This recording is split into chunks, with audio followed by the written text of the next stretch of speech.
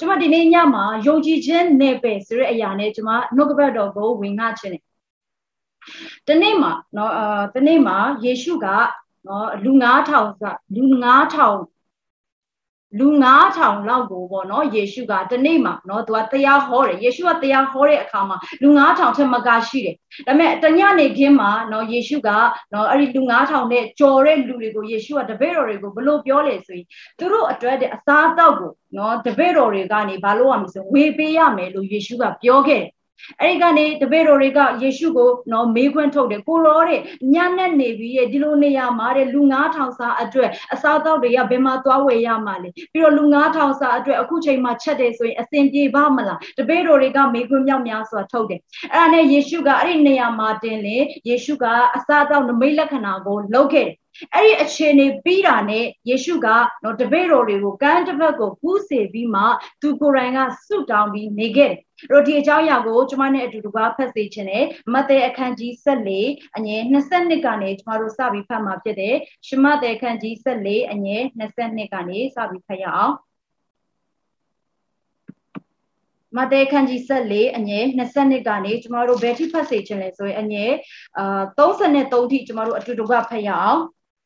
1 2 3ယေရှုသည်စီဝေသောသူတို့ကိုလွှတ်တော်မူစဉ်တွင်တပည့်တော်တို့ကိုလှေစီးစေ၍ကမ်းတစ်ဖက်သို့အရင်ကူးစေတော်မူ၏စီဝေသောသူတို့ကိုလွှတ်ပြီးမှဆုတောင်းပတနာပြုအပ်သောငါတောင်ပေါ်၌စိတ်ွယ်ရာအရက်သို့တက်ကြွသဖြင့်ညအချိန်ရောက်သောအခါတယောက်တည်းရှိတော်ရှိနေတော်မူ၏လေမူကားအိုင်အလေ၌ရှိ၍လေမသင့်သောကြောင့်လှိုင်းတဘိုးလှုပ်ရှားခြင်းကိုပြင်းစွာခံရ၏ညသုံးချက်သည် တီးကြော်အချိန်၌ယေရှုသည်အိုင်ပေါ်မှဆက်တော်ဖြန့်လျက်တပည့်တော်တို့ရှိရာသို့ကြွတော်မူ၏ ထိုသောအိုင်ပေါ်မှဆက်တော်ဖြန့်၍ကြွတော်မူသည်ကိုသူတို့သည်မြင်နေထိတ်လန့်၍ဖုတ်တစေဖြစ်သည်ဟုကြောက်သောစိတ်နှင့်အော်ဟစ်ကြ၏ယေရှုသည်ချက်ချင်းနှုတ်ဆက်၍တည်ကြည်သောစိတ်ရှိကြလောငါပင်ဖြစ်သည်မကြောက်လန့်ကြနှင့်ဟုမိန့်တော်မူ၏ပေတရုကလည်းသခင်ကိုရောမန်နှင့်ကျွန်ုပ်သည်ကိုရောထံသို့ရေပေါ်မှလာရမည်အကြောင်းမိန့်တော်မူပါဟုရှောက်လင်လာခဲ့လောဟုမိန့်တော်မူ၏ပေတရုသည်လှေပေါ်ကဆင်း၍ယေရှုထံသို့ရောက်အံ့သောကရေပေါ်မှလှမ်းသွား၏လေပြင်းသည်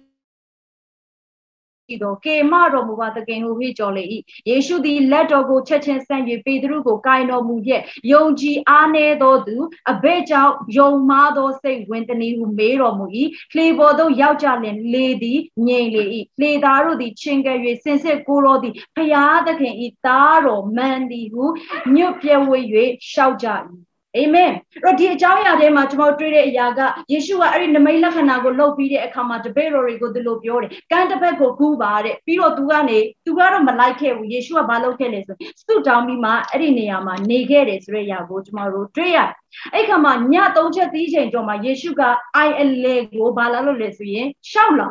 အော်ယေရှုတနည်းအားဖြင့်ပြောမယ်ဆိုရင်ရေပေါ်ကိုလမ်းလျှောက်လာတယ် တော့တပည့်တော်တွေကတော့အိုင်အလဲကိုရောက်နေပြီတစ်ဖက်ကန်းကိုကူးနေတာတပည့်တော်တွေကတော့အိုင်အလဲကိုရောက်နေပြီယေရှုကအိုင်အလဲကိုဘာဖြစ်လို့ဆိုလမ်းလျှောက်လာတယ်ဟုတ်ဟာဟာလေလုယာယေရှုရဲ့ယုံကြည်ခြင်းကဒီနေ့နေရာဒေသမရွေးဘူးအချိန်မရွေးဘူးဖြစ်တယ်အာမင်ယေရှုကလေရေပေါ်ကိုလမ်းလျှောက်လာတဲ့အခါမှာတပည့်တော်တွေကဒီလိုမြင်တယ်ဟုတ်တစီဖြစ်သည်ဟုကြောက်သောစိတ်နဲ့အော်ဟစ်ကြ၏လို့ပြောတယ် ယေရှုကိုမြင်တဲ့အခါမှာတပည့်တော်တွေဖြစ်တဲ့အနီးကပ်နောက်ကနေနော်နေနေညံ့ညံ့လိုက်တဲ့တပည့်တော်တွေတောင်မှယေရှုကိုမြင်တဲ့အခါမှာကြောက်လန့်ခြင်းသိရှိတယ်အဲ့ခါမှာယေရှုကဒီလိုပြောတယ်ကြောက်လန့်ခြင်းမရှိကြနဲ့တဲ့ငါပင်ဖြစ်တယ်လို့ပြောတယ်ယေရှုကဒီလိုပြောအဲ့ခါမှာပေတရုကဒီလိုပြန်ပြောတယ်ပေတရုကလည်းသခင်ကိုရောမန်နင်းနဲ့အကျွန်ုပ်ဒီအကျွန်ုပ်ဒီတဲ့ကိုရောတန်တို့ရေပေါ်မှာလာရမည်အကြောင်းမိန့်တော်မူပါလို့ရှောက်တယ်အာမင်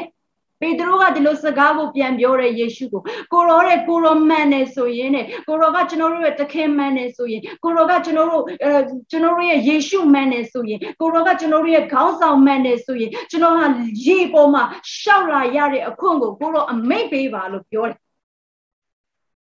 မိန့်တော်မူပါလို့ပြောတယ်ဒါပေတရုပြန်ပြောတဲ့စကားဖြစ်တယ်အာမင်ပေတရုကအဲ့လိုပြောပြီးရတဲ့ယေရှုကလာခိုင်းတယ် လာခိုင်းတဲ့အခါမှာပေတရုကလေပေါ်ကနေလေပေါ်ကနေရေပေါ်စပြီးမှလမ်းလျှောက်လာတယ်အဲ့ခါမှာပေပေတရုဟာစတင်ပြီးမှနမိတ်လက္ခဏာကိုခံစားရတယ်ယေရှုကဲ့သို့ရေပေါ်မှာလမ်းလျှောက်ရတဲ့နမိတ်လက္ခဏာကိုသူဟာစတင်ပြီးခံစားရတယ်ကျွန်တော်တို့အခုတလောမှာလူတွေကအာမင်းတို့နမိတ်လက္ခဏာလောက်တာကအာဟုတ်ဟုတ်ရောဟုတ်ပါမလားယုံကြည်ခြင်းတချို့ကမရှိဘူး ကျမပြောပြချင်တယ်ဒီလိုကာလမှာကျမတို့ကယုံကြည်ခြင်းနယ်ပယ်အသက်ကိုခြေလန်းလန်းဖို့လိုအပ်တယ်အာမင် လှေပေါ်ကနေပဲထိုင်ပြီးမှကျမတို့အော်ဟစ်ပြီးဆုတောင်းနေတယ်လှေပေါ်ကနေပဲထိုင်ပြီးမှဟာလာဒီလူကဘလို့ဖြစ်တယ်ဒီလူကဒီလိုဖြစ်တယ်လိုက်ပြီးမှဝေဖန်ပြီးကဲ့ရဲ့နေမဲ့အစားလှေပေါ်ကနေထွက်လာပြီးမှယုံကြည်ခြင်းနဲ့ခြေလန်းလန်းတဲ့သူအထဲကိုဝင်လာဖို့လိုတယ်ဟာလေလုယာအာမင်တရားလှေပေါ်ကနေပဲအော်ဒီလူကဒီလိုဖြစ်တယ်လို့ဟိုလူကပြောတာမကောင်းဘူးလို့ဒီနမိတ်လက္ခဏာကမှန်မမှန်ဘူးလို့စသဖြင့်ကျမတို့လိုက်ပြီးဝေဖန်ကဲ့ရဲ့နေမဲ့အစားကျမတို့ကိုယ်တိုင်ကယုံကြည်ခြင်းနဲ့နေပယ်အသက်ကိုခြေလန်းလန်းလေးလာဖို့ရန်အတွက်အထူးပဲလိုအပ်တယ်ဒီလိုကာလမှာအဲ့ဒီယုံကြည်ခြင်းအရန်လိုအပ်တယ်မိတ်ဆွေဟာလေလုယာလှေပေါ်ကနေထိုင်ပြီးမှလူတွေကိုလိုက်ပြီးပြောနေမဲ့အစားလှေလှေတွေကနေပဲဟလာနေရချင်းချင်းလေးကနေပဲအရင်ဘဝကနေပဲအရင်အချိန်တွေကနေပဲအင်းဖယားကိုအော်ဟစ်နေမဲ့အစားကျမတို့ဘာလုပ်ရမလဲအင်းယုံကြည်ခြင်းနေပယ်အသက်ကိုခြေလန်းလန်းရေးလာဖို့လိုအပ်တယ်ပေတရုကဲ့သို့ကိုတော့ကျွန်တော်ကိုလာရဖို့ရန်အတွက်လာဖို့ရန်အတွက်အမိန့်တော်ရှိပါ ဟာလေလုယာယေရှုကသူ့ရဲ့ယုံကြည်ခြင်းကမဖြစ်နိုင်ဘူးမလာနဲ့မစင်းလာနဲ့ယေရှုကအဲ့လိုမျိုးမကန့်သက်ထားဘူးဖြစ်တယ်အာမင်ယေရှုကအမြဲတမ်းမှာကျမတို့ယုံကြည်ခြင်းကို respect လုပ်တယ်ဟာလေလုယာကျမတို့ယုံကြည်သည်နဲ့အညီသင်၌ဖြစ်စေလို့ကျမ်းစာကပြောတာဖြစ်တဲ့အတွက်ကျမတို့ရဲ့ယုံကြည်ခြင်းတွေထဲမှာယေရှုကအလုံးလုံးလာတာဖြစ်တယ်ပေတရုရဲ့ယုံကြည်ခြင်းထဲမှာကိုရောကျွန်တော်ကိုလာရတဲ့အခွင့်ပေးပါအမိန့်တော်ရှိပါလို့ပြောတဲ့အခါမှာယေရှုကဖိတ်ခေါ်တယ် welcome ဟာလေလုယာဝါခေါငါသားငါသမီးငါရဲ့တဘာဝလွန်နေပေတဲ့ကိုကြိုးစိုးတယ်လာပါယုံကြည်ခြင်းနဲ့လာရဲဖို့လိုအပ်တယ်ဟာလေလုယာတချို့ကယုံကြည်ခြင်းနဲ့ခြေလမ်းမလန်းရဲဘူးလှေထဲမှာပဲထိုင်နေတယ်လှေထဲမှာပဲอืมဖြစ်နိုင်ပါမလားမေခွန်းပေါင်းမြောက်များစွာနဲ့ဒီနေ့ တွေးဝေနေမဲ့အစားယုံကြည်ခြင်းနဲ့လမ်းကြည့်ပါယုံကြည်ခြင်းနဲ့နေပေအတက်ကိုလာကြည့်ပါဒီနေ့ဖရာသခင်ကတင့်ကိုနမိတ်လက္ခဏာနဲ့ဒီနေ့မြင်ကိုမြင်စေရမှာဖြစ်တယ်အာမင်ယုံကြည်ခြင်းနဲ့ခြေလန်းလမ်းတဲ့သူတယောက်ချင်းစီတိုင်းမှာနမိတ်လက္ခဏာမြင်ကိုမြင်တွေ့ရတယ်ဟာလေလုယာကဘာပေါ်မှာဘုရားခင်အသုံးပြုနေတဲ့အကြီးကျယ်အသုံးပြုတဲ့ဆရာဆရာမတွေကျမတို့သူတို့ရဲ့တသက်ခံချက်တွေကြားတဲ့အခါမှာအယံကိုခွန်အားရတယ်သူတို့ကယုံကြည်ခြင်းအယံကိုရှိတဲ့သူတွေဖြစ်တယ် အာမင်အကြောင်းလည်းဘုရားတခင်ကသူတို့ကိုကြီးကြီးမားမားအသုံးပြုတယ်ယုံကြည်ခြင်းကယုံကြည်ခြင်းကကျမတို့ကန့်သက်လို့မရဘူးဖြစ်တယ်ယုံကြည်ခြင်းကိုကျမတို့အကန့်အသတ်မဲ့ကျမတို့ရဲ့ယုံကြည်ခြင်းနဲ့ဒီယုံကြည်ခြင်းနဲ့ပဲအသက်ကိုယခုလိုကာလမှာကျမတို့ဟာခြေလန်းလန်းလာလှမ်းလာရဲဖို့လိုအပ်တယ်အာမင် လှေထဲမှာတခြားရဲ့တခြားတပည့်တော်တွေလည်းရှိပါတယ်လှေထဲမှာတခြားသောသူတွေလည်းရှိပါတယ်ဒါပေမဲ့နမိတ်လက္ခဏာအတွက်စတင်ပြီးမှခြေလန်းလန်းတဲ့ပေတရုကတော့ဘာဖြစ်လာလဲဆိုရင်တမန်တော်အခန်းကြီး1ထဲမှာမတို့အားလုံးဒီအကြောင်းအရာကိုသိတယ်တမန်တော်အခန်းကြီး1ထဲမှာဘာဖြစ်လာလဲဆိုရင်တော့120သောလူတွေအပေါ်မှာတန်ရှင်တော်ဝိညာဉ်တော်ကစတင်ပြီးမှတွန်းလောင်းတယ်တွန်းလောင်းလာတဲ့အခါမှာအဲ့မှာရှိတဲ့လူတွေအားလုံးကအခြားသောဘာသာကနေစတင်ပြီးမှ ပြောထုတ်လာတယ်အခြားသောဘာသာစတင်ပြီးဆုတောင်းလာတယ်အခြားသောဘာသာစကားနဲ့စတင်ပြီးမှပြောထုတ်လာတယ်အဲ့ဒီအခန်းထဲမှာတရှင်တော်ဝိညာဉ်တော်ရဲ့ဘုံတော်ကစတင်ပြီးနေရာယူလာတယ်အဲ့ဒီခါမှာလူတွေကအံ့ဩတယ်ဟာသူတို့ပြောတဲ့ဘာသာစကားကဘာဘာသာစကားလဲအငါတို့နားမလည်ဘူးငါသူတို့ပြောတာမမှန်ဘူးစသဖြင့်လူတွေကသူတို့ရဲ့အတွေးခေါ်ထဲမှာမိကွန်းပေါင်းမြောက်များစွာရှိတယ်ဒါပေမဲ့အဲ့ဒီချိန်မှာနော် တချို့လူတွေကဒီလိုပြောတယ်မင်းတို့ကစပစ်ရင်ရစ်မူတာလားစသဖြင့်သူတို့အဖွဲ့တွေကိုအဲ့လိုပြောတယ်အဲ့ခါမှာပေတရုကစပြီးမှဘာလုပ်လဲဆိုရင်နှုတ်ကပတ်တော်ကိုကြီးညာတယ်။စာပြီးမှသူတို့ကိုပြောပြတယ်။ဒီယာကတရှင်တော်ဝိညာဉ်တော်ရဲ့အလုပ်လုပ်ခြင်းဖြစ်ကြောင်း။စာပြီးနှုတ်ကပတ်တော်တွေကိုသူအဲ့ဒီနေရာမှာဝင်ငှတဲ့အခါမှာအဲ့ဒီနေ့မှာပင်လေလူဘလောက်ပြောင်းလဲလဲဆိုရင်လူ3000ပြောင်းလဲတယ်။ဟာလေလုယာ။ ဒီနေ့နမိတ်လက္ခဏာနဲ့စတင်ခြေလန်းလန်းတဲ့ပေတရုကအဲ့ဒီနေ့မှာတရှင်တော်ဝိညာဉ်သူ့အထဲကိုစတင်ပြီးဖြည့်တဲ့အခါမှာသူနှုတ်ကပတ်တော်ဝင်ငှတဲ့အခါမှာသူအေးဝင်ကလေးဝင်ငှတဲ့အခါမှာအရေးချင်းနဲ့ကြည့်မယ်ဆိုရင်တော့ပေတရုဟာတန်ငါတဲ့ဖြစ်ပါတယ်အာမင်မျက်နှာသာမျက်နှာသာခံစားရတဲ့သူအနေနဲ့ကြည့်မယ်ဆိုရင်တငါတွေကဘယ်ဘယ်လိုဘယ်ဘယ်အချိန်မှာမျက်နှာသာခံစားရလို့လဲလူတွေရဲ့နောက်ဆုံးမှာထားတဲ့စည်ရင်ထဲမှာပါခြင်းပါနိုင်တယ် ပညာတတ်တွေကိုကျမတို့ကရှေ့ဆုံးမှာတင်ထားလျက်ရှိတယ်။ဥစ္စာရှိတဲ့သူတွေကိုရှေ့ဆုံးမှာတင်ထားလျက်ရှိတယ်။ဒါမဲ့လေတရှင်တော်ဝိညာဉ်တော်ဖြစ်ပေးတဲ့အခါမှာသူကိုယ်တိုင်ယုံကြည်ခြင်းရှိလာတဲ့အခါမှာသူကိုယ်တိုင်ရဲရင်ခြင်းရှိလာတဲ့အခါမှာဖခင်ရဲ့အေဝံဂေလိကိုဝင်ငှတဲ့အခါမှာဘာဖြစ်လာလဲလူ3000ပြောင်းလဲလာတယ်ဝေါနဲတဲ့လူကြီးမဟုတ်ဘူးလူ3000ပြောင်းလဲလာတယ်ဟာလေလုယာအဲ့ဒီနေ့မှာလူ3000ပြောင်းလဲလာတဲ့အခါမှာနောက်တမန်တော်ခန်းကြီး3လဲရောက်တဲ့အခါမှာဘာဆက်ဖြစ်လဲဆိုရင်တော့ တမန်တော်ခန်းကြီး3မှာကျမတို့အားလုံးသိရတယ်တမန်တော်ခန်းကြီး3အငယ်တစ်ကနေကျမတို့စပြီးဖတ်မယ်ဆိုရင်ဘာအကြောင်းအရာကိုတွေ့ရလဲဆိုရင်မွေးကလေးကပင်ချီမစွမ်းတဲ့လူတယောက်အကြောင်းကိုကျမတို့တွေ့ရ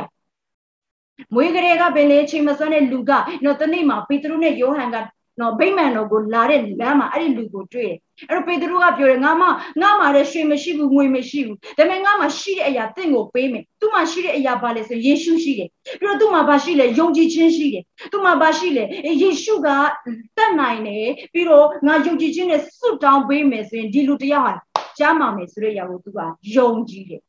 အဲ့နေရာမှာတင့်တယ်တကားနာမှာခြေလက်မတန်တဲ့သူကို ပေတရုကစတင်ပြီးမှယေရှုနာမ၌ဆိုပြီးအမိန့်ပေးလိုက်တဲ့အခါမှာဘာဖြစ်လဲအဲ့ဒီလူတယောက်ကလမ်းလျှောက်လာတယ်ဟာလေလုယာနမိတ်လက္ခဏာနဲ့စတင်ပြီးမှခြေလန်းလန်းရဲတဲ့ပထမဦးဆုံးခြေလန်းလန်းခဲ့တဲ့သူဟာပေတရုဖြစ်တယ်တပည့်တော်တွေထဲမှာပထမဦးဆုံးနေနဲ့နမိတ်လက္ခဏာစတင်ပြီးလုပ်တဲ့သူဟာပေတရုဖြစ်တယ်။ဘာကြောင့်မလို့နမိတ်လက္ခဏာစတင်ပြီးလုပ်လာရဲလေသီလား။သူ့အထက်မှာယုံကြည်ခြင်းရှိတယ် အခုနကျမတို့ဖတ်ခဲ့တဲ့မဿဲခန်းကြီး14ထဲမှာကိုရောတဲ့ကိုရောမှန်တယ်ဆိုရင်ကျွန်တော်ကိုယ်တိုင်ကရေပေါ်မှာရှောက်လာရတဲ့အခွင့်အမိန့်တော်ရှိပါလို့ပြောတယ်။ဒါယုံကြည်ခြင်းဖြစ်တယ်။အာမင်။ယုံကြည်ခြင်းဖြစ်တယ်။ယုံကြည်ခြင်းကလေလှေထဲမှာပဲမနေဘူးဖြစ်တယ်။ယုံကြည်ခြင်းရှိတဲ့သူကအမြဲတမ်းမှာခြေလန်းလန်းတယ်။အာမင်။ ယုံကြည်ခြင်းရှိတဲ့သူကနေရာမှာပဲထိုင်မနေဘူးယုံကြည်ခြင်းရှိတဲ့သူကတနေရာလေးထဲမှာပဲအော်ဟစ်မနေဘူးယုံကြည်ခြင်းရှိတဲ့သူကအပြောနဲ့ပဲမဟုတ်ဘူးယုံကြည်ခြင်းရှိတဲ့သူကကိုတော့ကျွန်တော်လည်းလာရဖို့ရတဲ့မိန့်တော်ရှိပါကိုတော့ကျွန်တော်လည်းလှုပ်ချင်တယ်ဟာလေလုယာကိုတော့ကျွန်တော်ဒီလိုမျိုးနမိတ်လက္ခဏာတွေကျွန်တော်လည်းလှုပ်ချင်တယ်ဟာလေလုယာဒါယုံကြည်ခြင်းရှိတဲ့သူဖြစ်တယ်မိတ်ဆွေဒီမှာပါဝင်တဲ့သူတယောက်ချင်းစီတိုင်းယုံကြည်ခြင်းနဲ့ပဲအသက်ကိုခြေလန်းလန်းရရအောင်ယုံကြည်ခြင်းနဲ့ပဲကတင့်ကိုကြိုးစိုးနေတယ် ဟာလေလုယာတဘာဝလူနယ်ပယ်ကသင်ကိုကြိုးစိုးနေတယ်ကျမတို့ဘက်ကနေဘာလုပ်ရမလဲယုံကြည်ခြင်းနဲ့ခြေလန်းလန်းရဲလာဖို့ပဲလိုတယ်သင်ရဲ့ယုံကြည်ခြင်းကိုစမ်းထုတ်ပါမသိမ်းထားပါနဲ့သူကလှေထဲမှာပဲအရန်ပြောတယ်ဟာအချိန်တန်တော့ကန်းရောက်မှာပဲသိချပါတယ်လှေထဲမှာပါလာရင်အချိန်တန်တော့ကန်းကိုရောက်မှာပဲဒါပေမဲ့ကန်းကိုရောက်ပုံရောက်နေခြင်းမတူဘူးလမ်းခွလက်အလယ်မှာဘာဖြစ်လဲနမိတ်လက္ခဏာခံစားရတယ်အာမင်သိမပူပါနဲ့ သင်ဟာကမ်းကိုရောက်မှာပဲဒါပေမဲ့ပေတရုလိုဖြစ်မလားဒါမှမဟုတ်ရင်လှေပေါ်မှာပါနေတဲ့ကျန်တဲ့နမိတ်လက္ခဏာခံဘာမှမဖြစ်သွားတဲ့သူအနေနဲ့ပဲသင်ဟာနေမှာလားဒီကျွန်မကတော့ဆုံးဖြတ်ချက်ကြတယ်ကျွန်မကတော့ယုံကြည်ခြင်းနဲ့ပဲမှာဆက်ပြီးခြေလန်းလန့်အောင်မယ်အာမင်ဖခင်တတ်နိုင်ခြင်းကိုကျွန်မကြွေးကြော်အောင်မယ်ဖခင်လှုပ်ဆောင်နိုင်ခြင်းကိုကျွန်မဝန်ခံအောင်မယ် အာမင်အကျွန်ုပ်ဟာယေရှုနိတူဤလောက၌ဖြစ်တယ်ကျွန်တော်တို့အားလုံးဟာဖယားနိတူဤလောက၌ဖြစ်တယ်အာမင်ကိုရောကဒီနေ့ကျမ်းစာမှာနမိတ်လက္ခဏာတွေလုပ်ဖို့ရန်အတွက်နာတော်သူတွေကိုချမ်းသာပေးဖို့ရန်အတွက်နှုတ်ကပတ်တော်ကကျွန်တော်တို့ကိုသွန်သင်ထားတယ်ဒီနေ့ကျမတို့အရိယာတွေအားလုံးကိုဘာဘာနဲ့လုပ်ရမလဲယုံကြည်ခြင်းနဲ့ခြေလန်းလန်းရဲဖို့ပဲလိုတယ်ယုံကြည်ခြင်းနဲ့လှုပ်ဆောင်ရဲဖို့ပဲလိုတယ်ဟာလေလုယာအာမင်ယုံကြည်ခြင်းရှိတဲ့သူတွေနဲ့တွေ့ရတာအထူးပဲဝမ်းသာတယ်အာမင်ကျမနဲ့အတူနောက်တဲ့ ကျမ်းစာတစ်ခုကိုသူကဖတ်စေခြင်းနဲ့ဟေပြဲခန်းကြီး7အငယ်29ဟေပြဲဩဝါစာခန်းကြီး7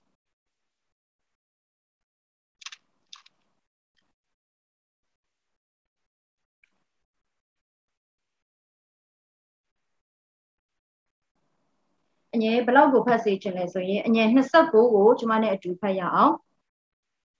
ဣဒရေလလူတို့သည်ကုန်းချောင်းသွားသကဲ့သို့ယုံကြည်ခြင်းအဖြစ်အေရုံပင်လေအလေ၌ရှောက်သွားရကြ၏ထိုသူတို့နီးသူအေဂုတ်တုလူတို့သည်သွားမီအားထုတ်သောအခါနစ်မြုပ်ကြ၏ဝေါတကောက်ပြန်ဖတ်ခြင်းနဲ့ဣဒရေလလူတို့သည်ကုန်းချောင်းသွားသကဲ့သို့ယုံကြည်ခြင်းအဖြစ်အေရုံပင်လေအလေ၌ရှောက်သွားရကြ၏အေရုံပင်လေအလေကိုသူတို့ဘာနဲ့ရှောက်ခဲ့လဲဆိုရင်ယုံကြည်ခြင်းနဲ့ရှောက်ခဲ့တယ် အဲ့တော့ထိုသူတို့နီးတူတဲ့အေဂတို့လူတွေကသွားမိဟုအားထုတ်သောအခါနစ်မြုပ်တယ်သူတို့နီးတူပဲအေဂတို့လူတွေကငါတို့လည်းအေဒုံပင်လေကိုဖြစ်မယ်ငါတို့လည်းအေဒုံပင်လေသူတို့နောက်ကိုငါတို့လည်းလိုက်မယ်အဲ့လိုမျိုးနော်သွားဖို့ရန်အတွက်အားထုတ်ပေမဲ့လေစိတ်မကောင်းစွာနဲ့ပင်လေကသူတို့ကိုနစ်မြုပ်တယ်ပင်လေထဲမှာသူတို့နစ်မြုပ်ခြင်းခံရတယ်ဒါပေမဲ့ဣဒရီလာလူမျိုးတွေကအဲ့ဒီပင်လေကိုသူတို့ဘာနဲ့ဖြတ်ခဲ့လဲဆိုရင်ယုံကြည်ခြင်းနဲ့ဖြတ်ခဲ့တယ်ဟာလေလုယာကျမတို့မသွားဘူးတဲ့နေနေ ဟလာပင်လေအလဲဆိုတော့ကျမတို့ပင်လေရဲ့အလဲလမ်းကိုရှောက်ဖို့ဆိုတာဒါကျမတို့ပုံမှန်ရှောက်နေကြလမ်းမဟုတ်ဘူးပုံမှန်ရှောက်နေကြလမ်းကကျမတို့ကတ္တရာတွေပုံမှန်လမ်းရှောက်တယ်ကုန်းပေါ်ဒီမှာကျမတို့လမ်းလျှောက်တယ်လူတယောက်ဆိုတာအမြဲတမ်းကုန်းပေါ်မှာလမ်းလျှောက်ရတယ်အရေပေါ်မှာရေအောက်ဒီမှာကျမတို့သွားမသွားကြဘူးဖြစ်တယ်ဒါပေမဲ့ဣတိလလူမျိုးတွေကနေပယ်အသက်မှာခြေလန်းလန်းတယ်အဲ့ဒီနေပယ်ကဘာလဲဆိုရင်ယုံကြည်ခြင်းနေပယ်အသက်ဖြစ်တယ်ဟာလေလုယာအဲ့ဒီအဲ့တော့ပင်လေအလဲမှာသူတို့ယုံကြည်ခြင်းနဲ့ခြေလန်းလန်းခဲ့တယ် ယုံကြည်ခြင်းကလေအရန်အစင်ပြေတဲ့နေရာမှာကျမတို့မမြင်ရဘူးဖြစ်တယ်ယုံကြည်ခြင်းကကျွန်မပြန်ပြောချင်တယ်အရန်အစင်ပြေတဲ့နေအရန်အစင်ပြေနေတဲ့နေရာမှာမမြင်ရအောင်ယုံကြည်ခြင်းကဘယ်အချိန်မှာကျွန်တော်တို့စတင်မြင်မြင်ရလဲဆိုရင်ကျွန်တော်တို့ကိုယ်တိုင်အပြင်းထန်ရုန်းကန်ရတဲ့ချိန်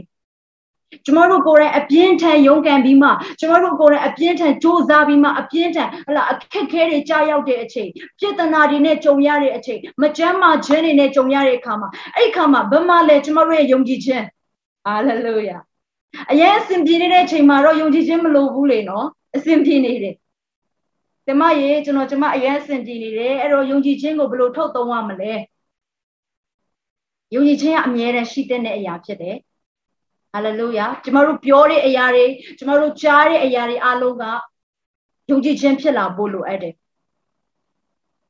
ယုံကြည်ခြင်းကအရင်အစဉ်ပြေနေတဲ့အချိန်မှာတော့မမြင်ရအောင်ယုံကြည်ခြင်းကဘယ်အချိန်မှာကျမတို့စတင်မြင်ရလဲဆိုရင်ကိုယ်တိုင်ပြင်းထန်ရုန်းကန်နေရတဲ့အချိန်အင်းအခက်ခဲတွေကြုံတဲ့အချိန်မကြမ်းမာခြင်းတွေကြုံတဲ့အခါမှာဒီအချိန်မှာကျမတို့ယုံကြည်ခြင်းကအမြဲတမ်းပေါ်လွင်တာဖြစ်တယ်ဟာလေလုယာအဲ့အချိန်မှာ ကျွန်တော်ကျွန်တော်ကျွန်မအားလုံးဟာကျွန်တော်တို့ဟာဘလို့နေရမှာမတည့်ရက်စေတနာတွေကြုံတဲ့အခါမှာမကြမ်းမာခြင်းတွေကြုံတဲ့အခါမှာဘလို့နေရမှာမတည့်ရက်လဲယုံကြည်ခြင်းနဲ့ပဲမှာမတည့်ရက်ပါအာမင်ဟာလေလုယာကျွန်တော်တို့ကိုးကွယ်တဲ့ဖခင်ဟာအလုံးစုံတတ်နိုင်တဲ့သူဖြစ်တယ်ကျွန်တော်တို့ကိုးကွယ်တဲ့ဖခင်ဟာတေခြင်းမျက်စုမှန်ကိုအောင်မြင်တဲ့သူဖြစ်တယ်အာမင်ထိုဖခင်ကိုကျွန်တော်တို့ကိုးကွယ်တာဒီနေ့ကျွန်တော်တို့ဟာယုံကြည်ခြင်းနဲ့ခလန်းလန်းရေးဖို့လိုအပ်တယ်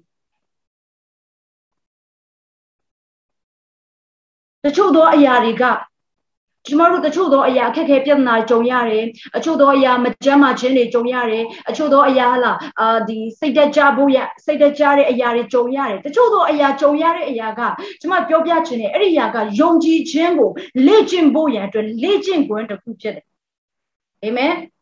အခုနကကျွန်မပြောသလိုအရင်အစဉ်ပြေနေတဲ့ကာလမှာယုံကြည်ခြင်းဟာမပေါ်လာတတ်ဘူးဖြစ်တယ်ယုံကြည်ခြင်းကဘယ်ရောက်လို့ရောက်မှမသိဘူးဒါပေမဲ့အခက်ခဲကြုံလာတဲ့အခါမှာပြဿနာတွေကြုံလာတဲ့အခါမှာကိုယ်တိုင်မကြမ်းမာခြင်းနဲ့ရင်ဆိုင်တဲ့အခါမှာအဲ့အချိန်မှာသင်ယုံကြည်ခြင်းကိုလိုအပ်တယ်အဲ့ဒီအချိန်ကာလကအသင်အတွက်လေးကျင့်ဖို့ရန်အတွက်အကောင်းဆုံးသောအချိန်ဖြစ်တယ်ဒီအဲ့ဒီအချိန်ကသင်အတွက်လေးကျင့်ခွင့်ဖြစ်တယ် သင်ကိုယ်သင်အဲ့လိုခံစားပါဒီအချိန်ကာလငါငါအတွက်လေ့ကျင့်တဲ့အချိန်ဖြစ်တယ်အာမင်ငါယုံကြည်ခြင်းနဲ့ဘာလို့ရမလဲလေ့ကျင့်ဖို့လိုအပ်တယ်ငါယုံကြည်ခြင်းနဲ့ခြေလက်လမ်းရဲဖို့လိုအပ်တယ်ငါယုံကြည်ခြင်းနဲ့ဒီအရာကိုကြော်ဖြတ်ရဲဖို့လိုအပ်တယ်ဟာလေလုယာယုံကြည်ခြင်းကတင့်ကိုအောင်မြင်ခြင်းပေးလိမ့်မယ်ယုံကြည်ခြင်းနဲ့တင်ခြေလန်းလန်းတဲ့အခါမှာအောင်မြင်ခြင်းကတင့်နောက်ကိုလိုက်လာလိမ့်မယ်ဟာလေလုယာယုံကြည်ခြင်းနဲ့နေ့တိုင်းမှာသွားပါ လေထဲမှာပဲမအော်ပါနဲ့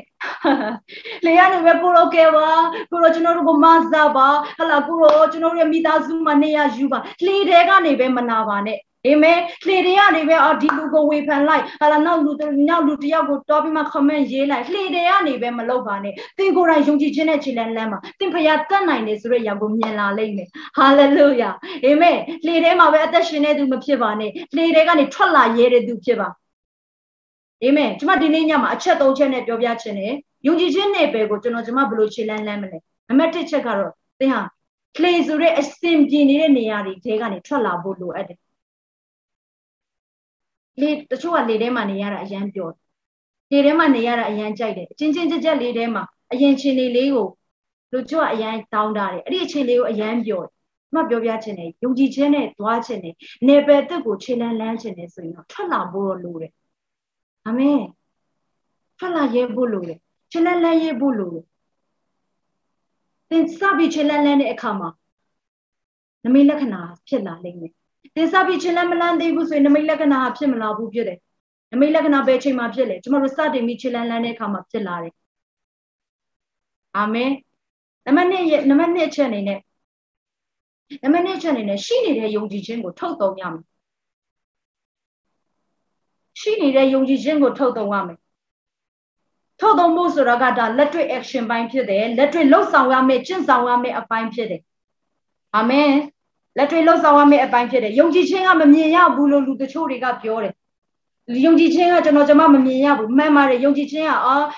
အနီရောင်ဟုတ်ပါတယ်ယုံကြည်ခြင်းကအဝါရောင်မှာအဲ့လိုမျိုးမြင်ရတဲ့အရာတော့မဟုတ်ဘူးဒါပေမဲ့ယုံကြည်ခြင်းဆိုတာဘယ်အပေါ်မှာမြင်ရလဲဆိုရင်လူတစ်ယောက်ရဲ့လှုပ်ဆောင်မှုနဲ့လူတစ်ယောက်ရဲ့အမှုအကျင့်ပေါ်မှာကျွန်တော်တို့ယုံကြည်ခြင်းကိုမြင်တွေ့လို့ရတယ်ဒီလူတစ်ယောက်ကယုံကြည်ခြင်းရှိမရှိဆိုတာကျွန်တော်တို့မြင်တာနဲ့သိလို့ရတယ်အာမင် ဟာလေလုယာအားကြောင့်လေကျမ်းစာကနော်ကျမ်းစာထဲမှာလူပုဂ္ဂိုလ်တို့များကနမိတ်လက္ခဏာလုပ်တဲ့အခါမှာအဲ့ဒီလူရဲ့အထက်ကနေယုံကြည်ခြင်းကိုမြင်တဲ့အခါမှာယေရှုနာမနဲ့လမ်းသွားလို့အမိန့်ပေးတယ်ဟာလေလုယာယုံကြည်ခြင်းကလေမြင်လို့ရတယ်ကျမတို့လူတွေကိုကြည့်တဲ့အခါမှာဒီလူတယောက်ကယုံကြည်ခြင်းရှိမရှိကျမတို့သိနိုင်ပါတယ်ဘလို့အားဖြင့်သိနိုင်မလဲဆိုသူ့ရဲ့လှုပ်ဆောင်မှုပိုင်းဆိုင်ရာနဲ့သူ့ရဲ့အပြုအမူနဲ့သူ့ရဲ့အလေးကျင့်ကနေကျမတို့ယုံကြည်ခြင်းတွေကိုမြင်တွေ့လို့ရတယ် ယုံကြည်ခြင်းကကျွန်တော်တို့သိမ်းထားဖို့မဟုတ်ဘူးထုတ်တုံဖို့ရာအတွက်ဖြစ်တယ်ကျွန်တော်ကျွန်တော်ယုံကြည်ခြင်းရှိတယ်အဲကျွန်မယုံကြည်ခြင်းရှိတယ်ကျွန်မယုံကြည်ခြင်းနဲ့နေ့တိုင်းမှာခြေလန်းလန်းတယ်ပြပါဘလို့ခြေလန်းလန်းနေလဲဆိုတဲ့အရာကိုပြဖို့လို့ဘလို့ခြေလန်းလန်းနေလဲဆိုတဲ့အရာကိုလုပ်ဖို့လိုအပ်တယ်ယုံကြည်ခြင်းကိုကျွန်တော်တို့ဘာလုပ်ရမလဲထုတ်တုံရမယ်ကျွန်မတို့ဒီကျမ်းစာပြန်ဖတ်စေခြင်းနဲ့မဿဲခန်းကြီး30အငယ်9ကနေကျွန်မဆက်ဖတ်စေခြင်းနဲ့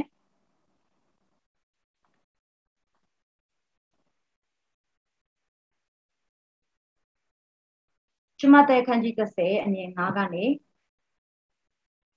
ရှစ်ထိကိုကျမနဲ့အတူဖတ်ဖတ်ရအောင်ထိုတကြိတ်နှစ်ပါးသောသူတို့ကိုယေရှုသည်စေလွှတ်တော်မူ၍သင်တို့သည်တပားအမျိုးသားတို့ရှိရာသို့မသွားကြနှင့်ရှမာရိမြို့ရွာထဲသို့မဝင်ကြနှင့်ဣဒေလအမျိုးပျောက်လွင့်သောသိုးများရှိရာသို့အရင်သွားကြလော့ သွားစဉ်တွင်ကောင်းကင်နိုင်ငံတော်တည်လူနီးပြီဟုတည်ကြားပြောကြလော့နာသောသူတို့အားချမ်းသာပေးကြလော့သေသောသူတို့ကိုထမြောက်စေကြလော့နှူသောသူတို့ကိုတန့်ရှင်းစေကြလော့နတ်ဆိုးတို့ကိုလည်းနှင်ထုတ်ကြလော့သင်တို့သည်အဖိုးမပေးဘဲဂျေစုကိုခံရကြပြီဖြစ်၍အဖိုးမခံဘဲပေးကမ်းကြလော့ဒါဟာယေရှုကတပည့်တော်တွေကိုသိလွတ်တဲ့ ခန်းကဏ္ဍဖြစ်တယ်ယေရှုကတပည့်တော်တွေကိုဘာလုပ်လဲဆိုရင်သင်တို့သွားပါတဲ့သွားတဲ့အခါမှာတဲ့ဘာလုပ်ရမလဲဆိုကောင်းကင်နိုင်ငံတို့တီလူနီးပြီးတနည်းအားဖြင့်နော်ဧဝံဂေလိကိုဟောခိုင်းတယ်သွားပြီးမှဧဝံဂေလိကိုဟောခိုင်းတယ်အဲ့တော့ယေရှုကတပည့်တော်တွေကိုဧဝံဂေလိဟောခိုင်းတဲ့အခါမှာဟောပဲမဟောခိုင်းဘူးလက်တွေ့လုပ်ခိုင်းတယ်အဲ့ဒီຢာကဘာလဲဆိုရင်နာတော်သူတို့ကိုချမ်းသာပေးကြလောတဲ့ သေသောသူတို့ကိုလည်းထားမြောက်စေကြလော။နှူသောသူတို့ကိုတန့်ရှင်းစေကြလော။အဲ့တော့ယေရှုကတပည့်တော်တွေကိုဒီလိုမှာခဲ့တယ်။သွားပြီးမှကောင်းကင်နိုင်ငံတော်တည်လူနေပြီဆိုတဲ့သတင်းကောင်းကိုကြားပြောပါ။အဲ့တော့ပိဒါနဲ့နာသောသူတွေကိုချမ်းသာပေးပါ။သေသောသူတွေကိုထားမြောက်စေပါ။နှူသောသူတွေကိုတန့်ရှင်းစေပါ။ဒီຢာကလက်တွေ့လှုပ်ဆောင်ရမယ့်အခန်းကဏ္ဍဖြစ်တယ်ဟာလေလုယာဒီကချိုကကျမတို့ကပြောပဲပြောတယ်အပြောတွေအရန်ကောင်းတယ် အပြောတွေအရန်ကောင်းတယ်ကျမအပြောတွေမကောင်းဘူးလို့မဆိုလို့ဘူးပြောတဲ့အရာတွေကောင်းတယ်เนาะကျမတို့လူတယောက်ကိုเนาะအေဝံဂေလိခေါ်တာတွေအရန်ကောင်းတယ်ကျမတို့လှုပ်ဆောင်တဲ့အရာဖြစ်တယ်ဟာလေလုယာအာမင်ယေရှုရဲ့နောက်ဆုံးမိန့်မှာခဲ့တဲ့စကားထဲမှာလည်းပါတယ်ကျမတို့အားလုံးဟာဒီနေ့ဘာလို့ရမလဲမြစ်ကြီးစွန်းတိုင်းအေဝံဂေလိဟောဖို့ရန်အတွက်လိုအပ်တယ် ဧဝံဂေလိဟောရမယ်ဒါပေမဲ့ဟောဖို့ပဲမဟုတ်ဘူးကျမတို့ဘာလို့မဆိုလက်တွေ့လှုပ်ဆောင်ဖို့လဲလို့ရယုံကြည်ခြင်းနဲ့လက်တွေ့လုပ်ဖို့လဲလို့ရအဲ့ဒီຢာတွေကဘာလဲနာသောသူတွေကိုချမ်းသာပေးရသေသောသူတွေကိုထမြောက်ဖို့ရန်အတွက်လူသောသူတွေကိုတန့်ရှင်းဖို့ရန်အတွက်ဒါယေရှုစေခိုင်းခဲ့တဲ့ဒီအရာလေးတွေဖြစ်တယ်ယေရှုကလက်တွေ့လုပ်ခိုင်းတယ်နော်ယေရှုကဟောဖို့ပဲမစေလုပ်ဘူးယေရှုကလက်တွေ့လုပ်ဖို့လည်းသင်ပေးတယ်အာမင်ဒီမှာရှိတဲ့သူတွေ ကျမတို့တယောက်ချင်းစတဲ့လက်တွေ့လုပ်ဖို့ရန်အတွက်ဆန္ဒရှိရအောင်ကျမတို့ထဲမှာရှိတဲ့ယုံကြည်ခြင်းကိုထုတ်သုံးဖို့ရန်အတွက်ဆန္ဒရှိရအောင်နောက်တော့သူတွေကိုချမ်းသာပေးဖို့ရန်အတွက်တင့်ထဲမှာဘာနဲ့ခြေလန်းလန်းရမလဲယုံကြည်ခြင်းနဲ့ခြေလန်းလန်းရမယ်တည်တော်သူတွေကိုထမြောက်ဖို့ရန်အတွက်တင့်ထဲမှာရှိတဲ့ယုံကြည်ခြင်းကိုသင်ဟာထုတ်သုံးဖို့လိုအပ်တယ်စိတ်တကြနေတဲ့သူသင်ဟာပြန်ပြီးမှခွန်အားပေးဖို့ရန်အတွက်သင်ထဲဟာရှိတဲ့ယုံကြည်ခြင်းနဲ့သင်ဟာစကားပြောဖို့လိုအပ်တယ် ဟာလေလုယာကိုကိုအရင်စိတ်သက်ကြပြီးမှဟလာလောကမှာအသက်မရှင်ချင်တော့တော့အောင်စိတ်သက်ကြနေတဲ့သူတွေကိုတင့်အထဲမှာရှိတဲ့ယုံကြည်ခြင်းကိုထုတ်သုံးဖို့ရန်အတွက်လိုအပ်တယ်ငါသူနဲ့စကားပြောရင်သူ့ထဲမှာဖခင်ရဲ့နှုတ်ကပတ်တော်စီးစစ်မယ်သူ့ထဲမှာဖခင်ရဲ့စကားစီးစစ်မယ်သူ့ထဲမှာဖခင်ရဲ့မေတ္တာစီးစစ်မယ်တင့်ထဲမှာအဲ့လိုယုံကြည်ခြင်းရှိပါဟာလေလုယာနာတော်သူတွေကိုသင်ဆုတောင်းပေးတဲ့အခါမှာငါဒီလူတယောက်ကိုဆုတောင်းပေးရင်ဖခင်တခင်ကကြမ်းမှခြင်းပေးမယ်တင့်ရဲ့ယုံကြည်ခြင်းကိုထုတ်သုံးပါဟာလေလုယာမသိမ်းထားပါနဲ့ အာမင်အရင်တိမ့်ထားလည်းမကောင်းဘူးဟာလေလုယာအာမင်ယုံကြည်ခြင်းကိုထုတ်သုံးဖို့ရန်အတွက်လိုအပ်တယ်နေ့နေ့ညညသင်ယုံကြည်ခြင်းနဲ့နေ့တိုင်းမှာခြေလန်းလန်းမှာနေပဲအသက်ကိုအမြဲတမ်းလမ်းရဲဖို့ရန်အတွက်ယုံကြည်ခြင်းရှိပါယုံကြည်ခြင်းကအမြဲတမ်းမှာ action ရှိတယ်ကျွန်တော်ကျမယုံကြည်ခြင်းရှိတယ်လို့ပဲဝန်ခံနေလို့မရဘူးဘာလို့ရမလဲဆိုလက်တွေ့ action နဲ့လာရမယ်ထုတ်သုံးဖို့လိုအပ်တယ်မှန်တယ် ယေရှုကဟောဖို့ဝယ်မတွင်တင်ဘူးလှုပ်ဆောင်ဖို့လည်းတွင်တင်ပေးတာဖြစ်တယ်ဟောဒီအရန်ကောင်းတယ်အပြောတွေအရန်ကောင်းတယ်ဒါပေမဲ့လက်တွေ့ဘာမှမလာဘူးဆိုရင်ဒါနည်းနည်း something လိုနေတယ်အဲ့တော့ကျမတို့ဘာလုပ်မလဲလက်တွေ့လာဖို့လိုတယ်ယုံကြည်ခြင်းကိုလက်တွေ့လုပ်ပါလက်တွေ့လုပ်ကြည့်ပါအခုနကကျမပြောသလိုလှေတရားပဲပဲလိုက်ပြီးမအော်ပါနဲ့တပည့်တော်တွေကပေတရုကိုအပေတရုမင်းရဲ့ရှာရှည်လိုက်တာကွာလှေတွေကနေစင်းစရာကိုမလိုတာယေရှုလာမှာပေါ့ တပည့်တော်တွေကပေတရုကိုဝေဖန်ရဝေဖန်မှာပဲဒါကျမ်းစာမှာတော့မပါဘူးပေါ့နော်ဒါကျမထင်တာပေါ့တပည့်တော်တွေကပေတရုကိုဝေဖန်မှာပဲအော်မင်းရှာရှည်တယ်နော်ရေပေါ်စင်းတော့ကောင်းတယ်အမှရေထဲကြောက်သွားဝေဖန်တဲ့အထဲမနေပါနဲ့ယုံကြည်ခြင်းနဲ့ခြေလမ်းလမ်းမှာပေတရုကတပည့်တော်တွေထဲမှာစပထမဦးဆုံးနမိတ်လက္ခဏာလောက်ခဲ့တဲ့သူလည်းဖြစ်တယ်ကျမတို့ကြည့်မယ်ဆိုရင်တမန်တော်နှစ်တွေ၃တွေ၅တွေမှာပေတရုကနမိတ်လက္ခဏာအကြီးကျယ်တွေလုပ်တယ် သူ့အရေးနဲ့လူတွေဟာကြမ်းပါတယ်သူစီမာလာပြီးဆုတောင်းခံစရာမလိုသူအရေးနဲ့တင်လူတွေကကြားပါတယ်ဟာလေလုယာအာမင်အဲ့အတွက်သူအရင်ဆုံးဘာလုပ်ပါလဲဆိုယုံကြည်ခြင်းနဲ့သူအရင်ခြေလန်းလှမ်းလာရတယ်ကိုရောကျွန်ုပ်ကိုလည်းလာဖို့ရန်အတွက်အမိန့်တော်ရှိပါဒါသူသူ့ရဲ့ request ဖြစ်တယ်ကိုရောကျွန်တော်လည်းလုပ်ပေးရစေကိုရောကျွန်တော်လည်းလာပေးရစေကိုရောလုပ်တယ်လို့ကျွန်တော်လည်းလုပ်ချင်ဟာလေလုယာသူသူယေရှုကိုညှင်းခဲ့ပေမဲ့သူယေရှုကိုမသိဘူးလို့သုံးချိန်သုံးခါညှင်းခဲ့ပေမဲ့ ဒါပေမဲ့သူဟာနမိတ်လက္ခဏာနဲ့ခြေလန်းလန်းခဲ့တဲ့သူဖြစ်တယ်။ယုံကြည်ခြင်းသူ့ထဲမှာကျွန်တော်တို့မြင်ရတယ်။အာမင်။ကျွန်မနဲ့ဒီနောက်ထပ်ကျမ်းစာတစ်ခုကိုပြန်ဖတ်ရအောင်။ယောမခန်းကြီးနဲ့အငယ်73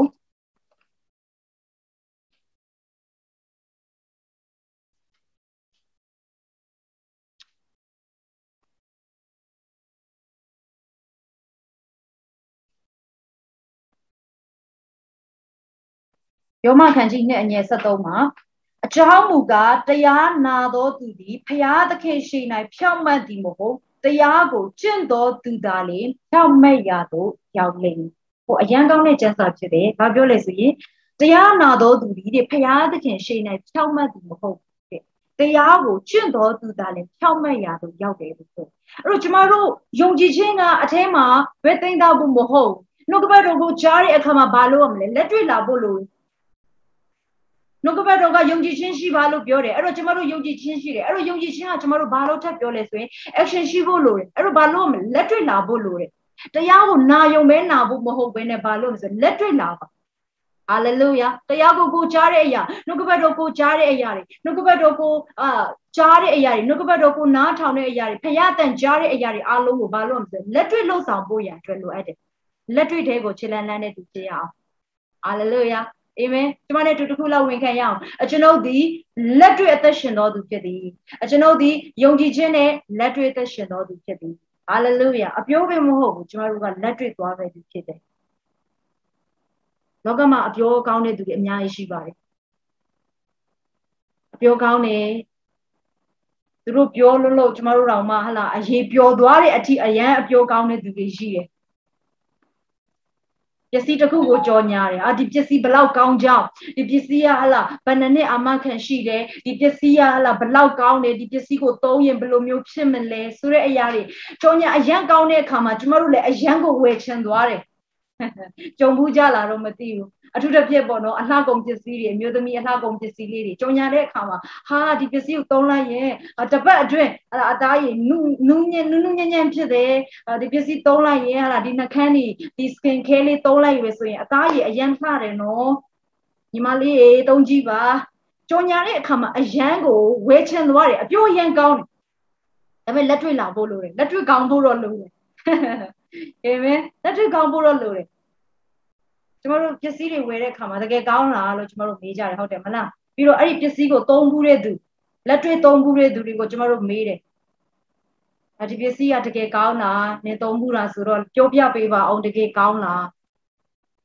ကျမတို့လက်တွေ့သုံးတဲ့သူတွေကိုပြန်မေးတဲ့အခါမှာလက်တွေ့လုပ်တဲ့သူစီကနေ confirm ရတဲ့အခါမှာအာဒီပစ္စည်းကကောင်းတယ်ငါလည်းဝယ်မယ်လက်တွေ့အရန်ရေးကြည့်ရနော်မိတ်ဆွေ ယောမခန်းကြီးနဲ့အငယ်73ကပြောသလိုတရားနာတော်သူကတဲ့ဘုရားခင်ရှင်နဲ့ဖြောက်မှတ်တာမဟုတ်ဘူးတရားကိုကျင့်တော်သူတွေကသာလေဖြောက်မှတ်တယ်တနည်းအားဖြင့်ပြောမယ်ဆိုရင်တရားကိုနာယုံမဲနာတဲ့အရာကအဲ့တော့တရားဆိုတဲ့နှုတ်ကပတ်တော်ကိုကြားယုံမဲကြားဖို့မဟုတ်ဘူးဘာလို့ဖို့ရန်အတွက်ပြောလဲဆိုရင်လက်တွေ့လို့ဖို့ရန်အတွက်ပြောတယ်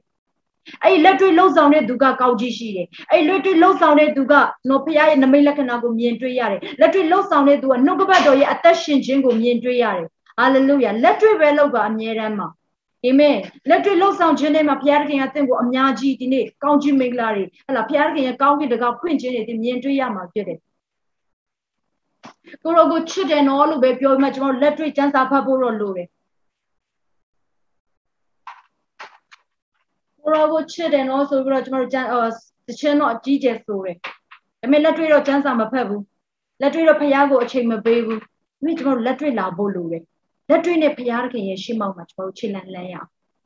နေပေအသက်အဲ့နေပေကတင့်ရဲ့ယုံကြည်ခြင်း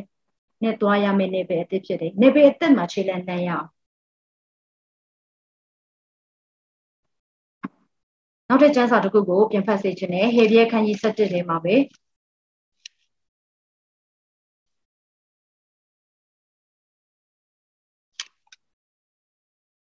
ဟေဘရဲခန်းကြီး7အငယ်ဘလောက်ကိုဖတ်စေချင်လဲဆိုရင်အငယ်6ကိုကျွန်မနဲ့တူဖတ်ရအောင်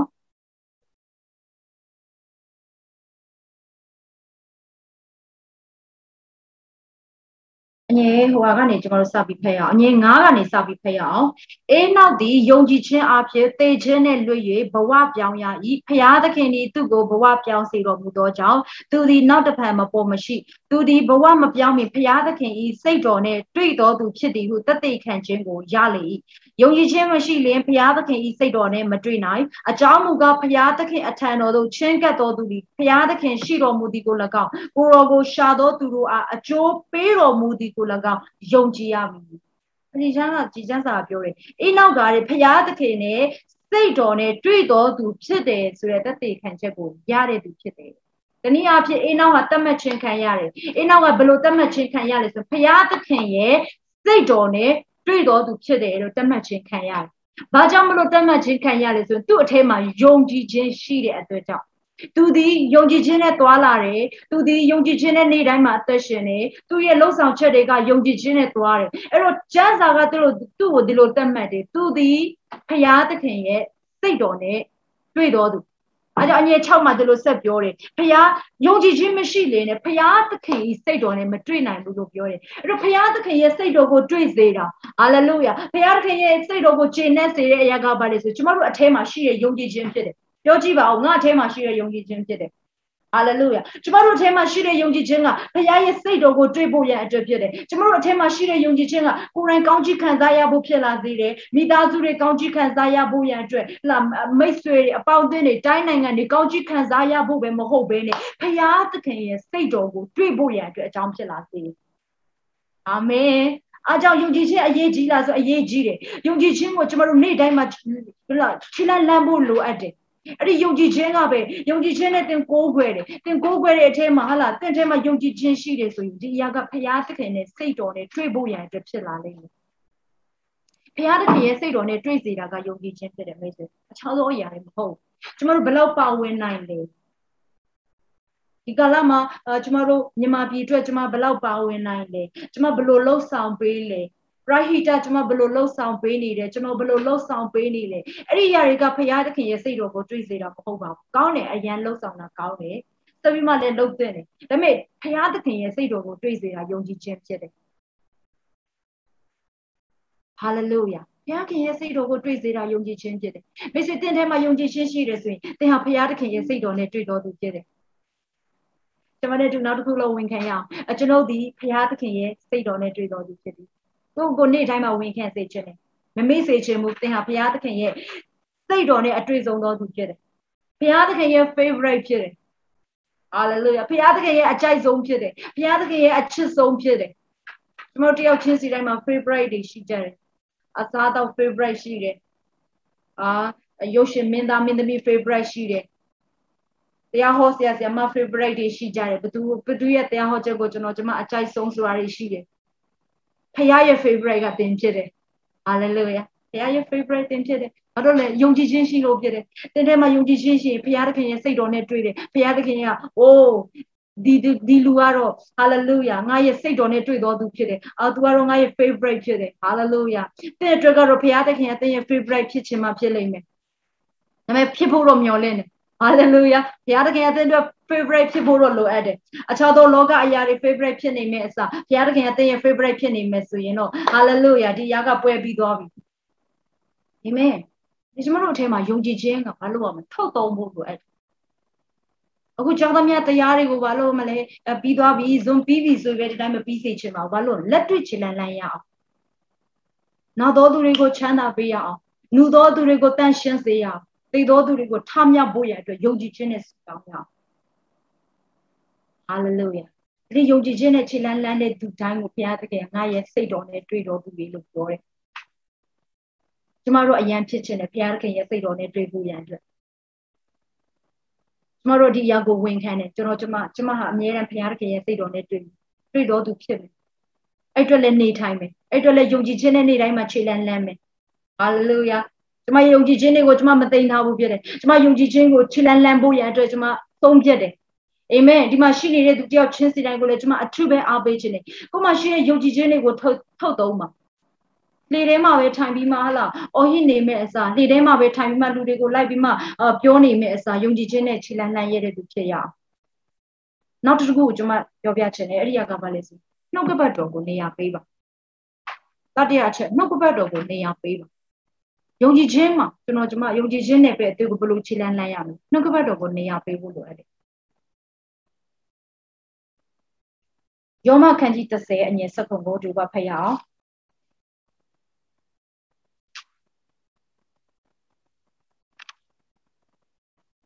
ယောမခန်းကြီး30အငယ်7ယုံကြည်ခြင်းသည်ကြားနာခြင်းအဖြစ်ဖြစ်၏ကြားနာခြင်းသည်လည်းဖျားသခင်၏စကားတော်အဖြစ်ဖြစ်၏ နောက်တစ်ခေါက်ပြန်ဖတ်ခြင်းနဲ့ယုံကြည်ခြင်းသည်ကြားနာခြင်းအဖြစ်ဖြစ်၏ကြားနာခြင်းသည်လည်းဖျားသခင်၏စကားတော်အဖြစ်ဖြစ်၏ယုံကြည်ခြင်းကဘယ်ကလာလဲဖျားသခင်ရဲ့ကြားနာခြင်းကနေလာတယ်အဲ့တော့ကြားနာခြင်းကဘယ်ကနေဆိုဖျားသခင်ရဲ့စကားအဖြစ်လာတယ်အဲ့တော့ယုံကြည်ခြင်းဘလို့ယုံကြည်ခြင်းကနော်ယုံကြည်ခြင်းနယ်ပေကိုကျွန်တော်ကျွန်မဘလို့ခြေလန်းလန်းရမဆိုကြားဖို့လိုတယ်နှုတ်ကပတ်တော်ကိုနေရာပေးဖို့လိုတယ်အဲ့တော့ကိုကြားခြင်းတဲ့အရာကြားလို့မရပါဘူး မှန်ကန်တဲ့နှုတ်ကပတ်တော်ကယုံကြည်ခြင်းကိုဖြစ်လာစေဒါပေမဲ့မှားယွင်းတဲ့ဩဝါဒမှားယွင်းတဲ့တောမျိုးစေ့ကဘာဖြစ်လဲဆိုရင်ယုံမှားတဲ့စိတ်ကိုဖြစ်လာစေတယ်။တန်းစာထဲမှာယုံကြည်တဲ့စိတ်လည်းရှိတယ်လို့ယုံမှားသောစိတ်ရှိတယ်။ကျမတို့အခုနောက်ဖတ်တဲ့ပထမအဆုံးမှာကျမတို့ဖတ်ခဲ့တဲ့မဿဲခန်းကြီး14ထဲမှာကျမတို့တွေ့ရတယ်။ခန်းကြီး14ထဲမှာဘာပြောလဲဆိုရင်ယေရှုကပေတရုကိုဒီလိုပြောဘာကြောင့်ယုံမှားသောစိတ် ရှိတာလဲလို့ပြောတယ်။အဲ့တော့ယုံကြည်ခြင်းစိတ်ရှိလဲရှိသလိုယုံမှားသောစိတ်လည်းရှိတယ်။ယုံမှားသောစိတ်ကဘယ်အချိန်မှဝင်လာလဲဆိုရင်မှားယွင်းတဲ့ကြားနာခြင်းတွေတဲကနေလာတယ်မှားယွင်းတဲ့တောမျိုးစေ့တွေကကျမတို့ကိုဘာဖြစ်စေလာဆိုရင်မှားယွင်းတဲ့ဟလာယုံမှားတဲ့စိတ်တွေဖြစ်လာစေတယ်အသင်ဟာယုံကြည်ခြင်းအားကြီးတဲ့သူဖြစ်ခြင်းနဲ့ယုံကြည်ခြင်းနဲ့နေ့တိုင်းမှာခြေလန်းလန်းတဲ့လမ်းချင်နေဆိုရင်တော့ကြားတဲ့အရာကမှန်ကန်ဖို့လိုအပ်တယ်။ သင်ကြားတဲ့အရာတွေမှန်ကန်ဖို့လိုအပ်တယ်။ကြားတဲ့အရာအလုံးကယုံကြည်ခြင်းကိုမဖြစ်လာစေဘူး။ဘုရားနှုတ်ကပတ်တော်ကယုံကြည်ခြင်းကိုဖြစ်လာစေတယ်။အဲ့ဒီနှုတ်ကပတ်တော်ကမှန်ကန်စွာကြားဖို့လိုအပ်တယ်အာမင်အဲ့တော့သင်ကိုယ်တိုင်ကဖခင်ဖခင်အတန်ကိုကြားဖို့ရန်အတွက်အချိန်ပေးဖို့လိုတယ်ဟာလေလုယာကျမ်းစာဖတ်ဖို့လိုတယ်ဖခင်နှုတ်ကပတ်တော်အတန်ကြားဖို့ရန်အတွက်ကျမ်းစာဖတ်ပါအဲ့တော့ဖခင်နဲ့အချိန်ယူပါယုံကြည်ခြင်းနယ်ပယ်ထဲမှာခြေလန့်လန့်လန့်ခြင်းနဲ့ဆိုရင်တော့သင်ကိုယ်တိုင်ကဖခင်အတန်ကိုကြားဖို့လိုတယ် ပြီးတော့သင်ကြားတဲ့နှုတ်ကပတ်တော်တွေကိုပြန်ပြန်ပြီးစမ်းစစ်ပါလောကရဲ့တည်င်းကိုကြားလို့ကျမတို့ယုံကြည်ခြင်းမတက်သွားဘူးလောကရဲ့အရန်ကောင်းပါတယ်ဆိုတဲ့သတင်းကောင်းကိုကြားလို့ယုံကြည်ခြင်းမသက်သွားဘူး။ဘုရားရဲ့နှုတ်ကပတ်တော်ကကျွန်တော်တို့ကိုယုံကြည်ခြင်းဖြစ်စေတယ်။ကျမ်းစာကရှင်းရှင်းပြောတယ်။ကြားနာခြင်းကလည်းဘုရားသခင်ရဲ့စကားတော်အဖြစ်ပဲဖြစ်တယ်။တခြားဘာမှမဟုတ်ဘူးနော်။ဘုရားသခင်ရဲ့စကားတော်အဖြစ်ပဲဖြစ်လာတယ်။ ယုံကြည်ခြင်းကဘယ်ကနေလာလဲ။ဘုရားသခင်ရဲ့စကားကြားနာခြင်းတွေကနေလာတယ်။အဲကျွန်တော်တို့ဒီကာလမှာဘုရားစကားများများကြားဖို့လိုတယ်အားကြောင့်လေကျမတို့အပတ်စဉ်တိုင်းမှာ Zoom တွေပါဝင်ပါဝင်လာပါအာမင်ကျမအထူးပဲဖိတ်ခေါ်တယ်သင်ဟာဖခင်စကားအထူးပဲကြားဖို့လိုအပ်တယ်သင်ထဲမှာယုံကြည်ခြင်းတွေတိုးပွားလာဖို့ရန်အတွက်ယုံကြည်ခြင်းနဲ့ပဲမှာဆက်ပြီးမှခြေလန်းလန်းခြင်းနဲ့ယုံကြည်ခြင်းနဲ့ဆက်ပြီးတွားခြင်းနဲ့ယုံကြည်ခြင်းနဲ့အမြဲတမ်းမှခြေလန်းလန်းနေဆိုရင်အမြဲတမ်းကြားဖို့လိုတယ်ဖခင်စကားကို ကျမကိုယ်တိုင်ကကျမမနဲ့တိုင်းမှာကျမအမြဲတမ်းနှုတ်ကပတ်တော်နားထောင်တယ်ကျမရဲ့ဝိညာဉ်ကောင်းဆောင်တွေရဲ့နှုတ်ကပတ်တော်ကျမပြန်နားထောင်ပြန်နားထောင်တယ်ကျမဖွင့်နားတယ်ကျမအလုပ်လုပ်နေရင်းနဲ့နားထောင်တယ်တချို့အရာတွေလုပ်နေရင်းနဲ့နားထောင်ကျမဖွင့်နားတယ်နှုတ်ကပတ်တော်ကြားဖို့လိုတယ်အဲ့ဒီကြားတဲ့အရာကဘာဖြစ်လာစေလဲဆိုယုံကြည်ခြင်းတွေဖြစ်လာစေတယ်ကျမအထက်မှာရှိတဲ့ယုံကြည်ခြင်းကိုအားကြီးလာစေတယ်ဟာလေလုယာအာမင်ကျမအထက်မှာရှိတဲ့ယုံကြည်ခြင်းကို तू ကဘာဖြစ်လဲဆိုနှုတ်ဆော်ပေးတယ် ကြားတဲ့အရာနှုတ်ကပတ်တော်ကိုဟလာအချိန်ပိုပေးတဲ့သူနှုတ်ကပတ်တော်ကိုပို့ပြီးနားထောင်တဲ့သူဖခင်တန်ပို့နားထောင်တဲ့သူကယုံကြည်ခြင်းမှာအမြဲတမ်းခြေလန်းလန်းဖို့ရတဲ့သူကတတိရှိတယ်သူကရဲရင်ချင်းရှိတယ်ဘာလို့လဲဆိုတော့နှုတ်ကပတ်တော်ကကျွန်တော်တို့အထဲမှာအမြဲတမ်းပါဖြစ်ဆိုရင်ယောဟန်ခန်းကြီးနှုတ်ကပတ်တော်ကတက်ရှိတယ်ကျွန်မတို့ဖခင်ရှင်ယောဟန်ခန်းကြီးမှာယောဟန်ကြီးတဲ့အငယ် အာတက်ကနေကျမတို့ဆက်ဖတ်ရအောင်အစအဦးနှုတ်ကပတ်တော်ရှိနှုတ်ကပတ်တော်ဒီဖျားသခင်နဲ့အတူရှိနှုတ်ကပတ်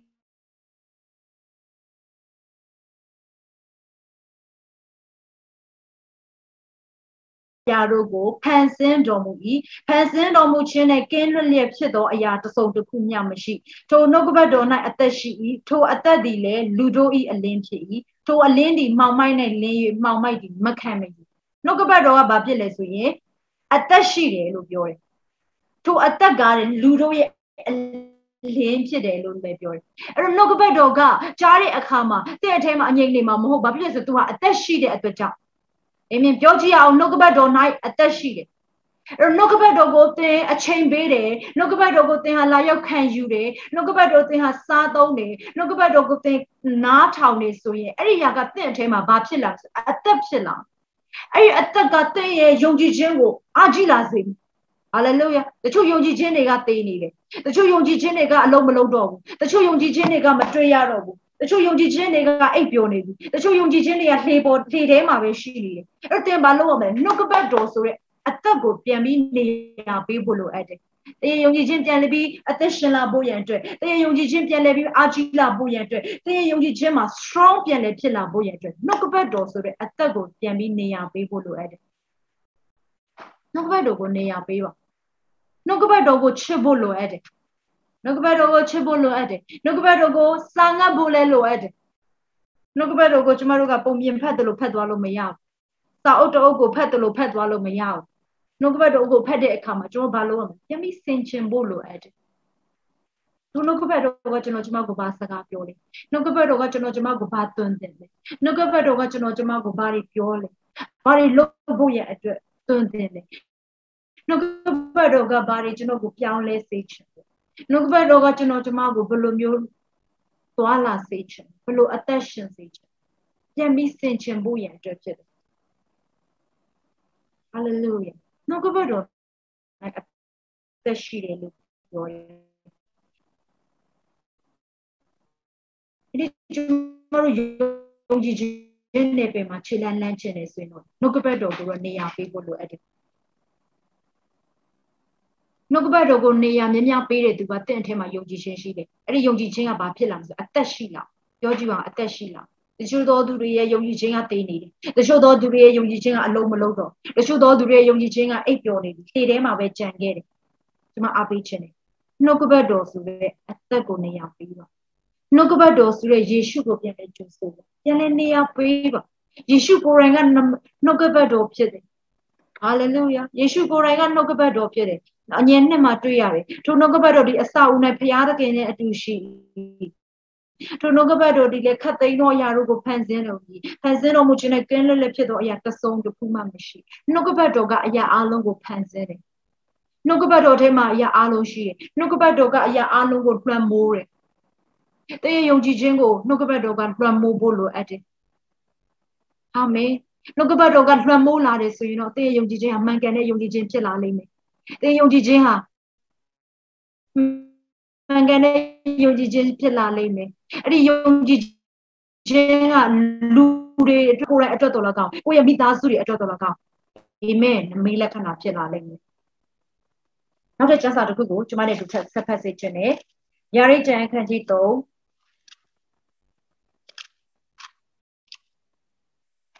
ယာရိခန်းကြီး3အငယ်30ကနေ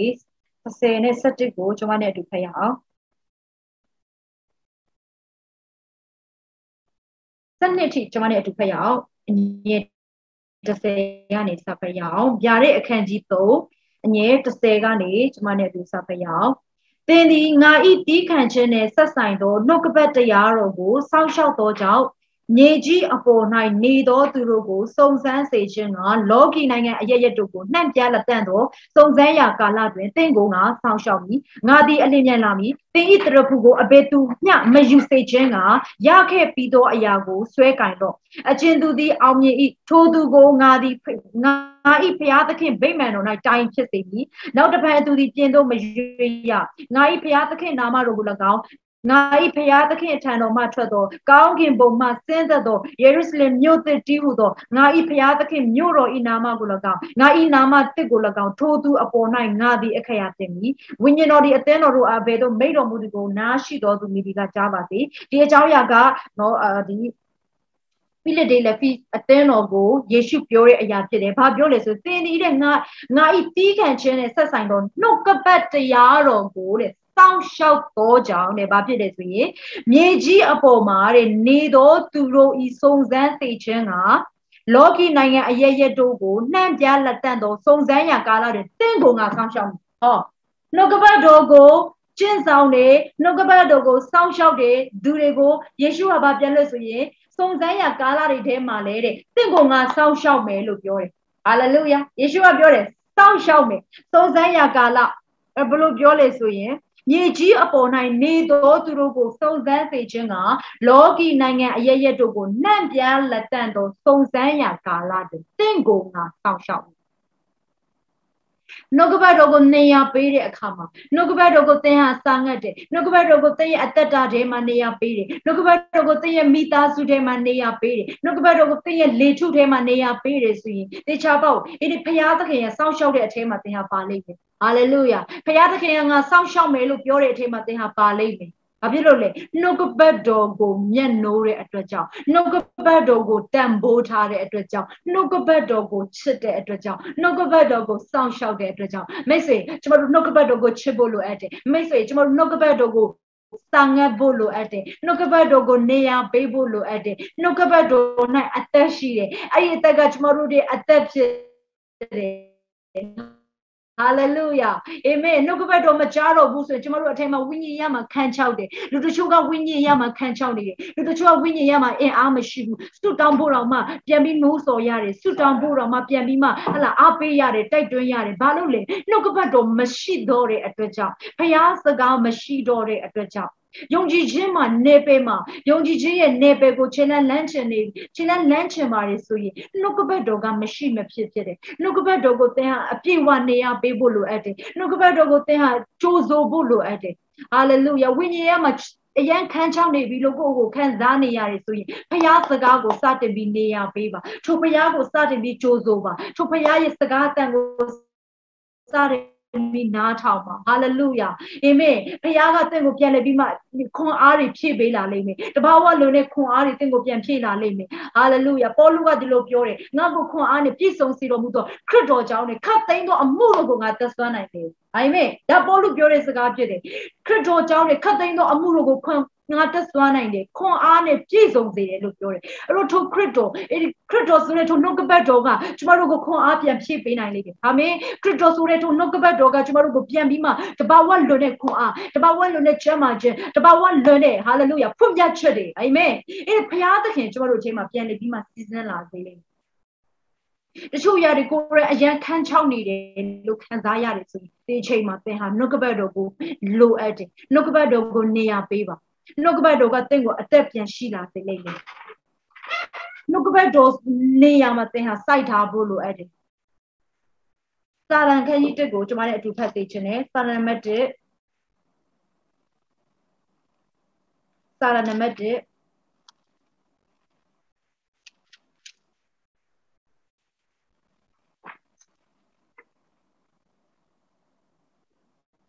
စာစာရနံပါတ်1ဘယ်ကနေဖတ်မလဲဆိုရင်အငယ်အာနှစ်ကနေစဖတ်ရအောင်လူဆိုးတို့ဤလမ်းတွေမရက်မနေမထီမဲ့မြင်ပြုသောသူတို့ဤအစီအဝေး၌မထိုင်ထာဝရဘုရားဤတရားတော်၌မွေ့လျော်၍တရားတော်ကိုနေညမပြည့်စင်ခြင်းအောက်မိတော်သူသည်မင်္ဂလာရှိ၏အကြောင်းမူကားထိုသူသည်မျက်နာမှာစိုက်လေမိမိအချိန်တန်မှအတီးကိုတီး၍အရွက်မညှိုးနွမ်းတတ်သောအပင်နှင့်တူ၏ပြုလေတများတို့၌အောင်လိတ်တတိ အဲ့တော့တရားတော်၌မွေ့လော်ပြီးမှတရားတော်ကိုနေညမပြည့်စင်ခြင်းအောင်မိတော်သူကဘာဖြစ်လဲဆိုမင်္ဂလာရှိတယ်လို့ပြောတယ်။ကျမ်းစာကဒီလိုပြောတယ်မင်္ဂလာရှိတယ်တဲ့။မင်္ဂလာရှိတော်သူလို့ခေါ်တယ်။ဘလို့လူမျိုးတွေကိုမင်္ဂလာရှိတော်သူလို့ခေါ်လေဆိုရင်တရားတော်ကိုနေညမပြည့် စင်ခြင်းအောက်မေ့သောသူတွေတရားတော်၌မွေ့လျော်သောသူတွေဟာလေလုယာဒီမှာရှိသောသူတွေကနှုတ်ကပတ်တော်ကိုချစ်တယ်နှုတ်ကပတ်တော်ကိုချစ်တဲ့အတွက်ကြောင့်လေဒီနေ့ညမှာသင်ဟာအချိန်ပေးလာတယ်ဟာလေလုယာသင်ရဲ့အချိန်ကိုနှုတ်ကပတ်တော်သက်သင်ဟာအချိန်ပေးလာတယ်အဲ့တော့တရားတော်ကိုနေညမပြတ်စင်ခြင်းအောက်မေ့တဲ့သူကမင်္ဂလာရှိတယ်တဲ့အဲ့ဒီသူတွေကတဲ့အချိန်တန်တဲ့အခါမှာဘာဖြစ်လဲဆိုရင်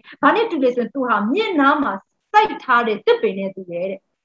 မြင်နာမှာစိုက်တဲ့တစ်ပင်ကအမြဲတမ်းမှရေရတယ်သူရဲ့အမြင့်ကရေရတယ်အခါမှာအဲ့ဒီအပင်ကအမြဲတမ်းမှကြီးထွားခြင်းရှိတယ်အမြဲတမ်းမှလန်းဆန်းတယ်အချိန်တိုင်းအသီးတွေသီးအချိန်တိုင်းအပွင့်တွေပွင့်တယ်အချိန်တိုင်းကောင်းကြီးခံစားရတယ်အချိန်တိုင်းဘုရားသခင်ရဲ့ဟလာဘုရားသခင်ရဲ့အချိန်ကြရင်ကောင်းကင်တကာဖွင့်ခြင်းတွေခံစားရတယ်အဲ့ဒီသူတွေကဘာလို့လဲနှုတ်ကပတ်တော်နဲ့နေညမပြည့်စင်ခြင်းအောက်မိတော်သူတွေနှုတ်ကပတ်တော်နဲ့မွေ့လျော်တော်သူတွေဟာလေလုယာဘုရားသခင်နဲ့နေ့တိုင်းမှာမွေ့လျော်တော်သူတွေကမြင်နာမှာစိုက်လေအပင်ကဲ့သို့အမြဲတမ်းမှာစိမ့်လန်းတယ်အမြဲတမ်းမှာဆိုပြေးတယ်သင်ဘာကြောင့်ခန်းချောက်နေလဲဆိုရင်မြင့်နဲ့ဝေးနေလို့ဖြစ်တယ်ဟာလေလုယာနှုတ်ကပတ်တော်နဲ့ဝေးနေတယ် အာမင်ဘာကြောင့်ယုံကြည်ခြင်းမရှိတော့တာလဲယုံကြည်ခြင်းတွေဘာကြောင့်အလုံးမလုံးတော့တာလဲယုံကြည်ခြင်းဘာကြောင့်မတုံးရဲတာလဲမထုတ်တုံးရဲတာလဲဒီနေ့နှုတ်ကပတ်တော်ကိုပြန်လဲနေရပေးဖို့ရန်အတွက်လိုအပ်တယ်နှုတ်ကပတ်တော်ကကျမတို့ကိုပြန်လဲပြီးအသက်ရှိစေလာလိမ့်မယ်အာမင်ထိုသူကားတဲ့အကြောင်းမူကားထိုသူဒီမျက်နာမှာစိုက်လျက်မိမိအချိန်တည်းမှာအတိကိုသိနေအရွက်မညှိုးနှမ်းတတ်သောအပင်နဲ့တူတယ်တဲ့ပြုလေသမျှတို့၌အောင်လိတ်တတိလို့ပြောတယ် ဟောလှုပ်ဆောင်လေသမျှတိုင်းမှာ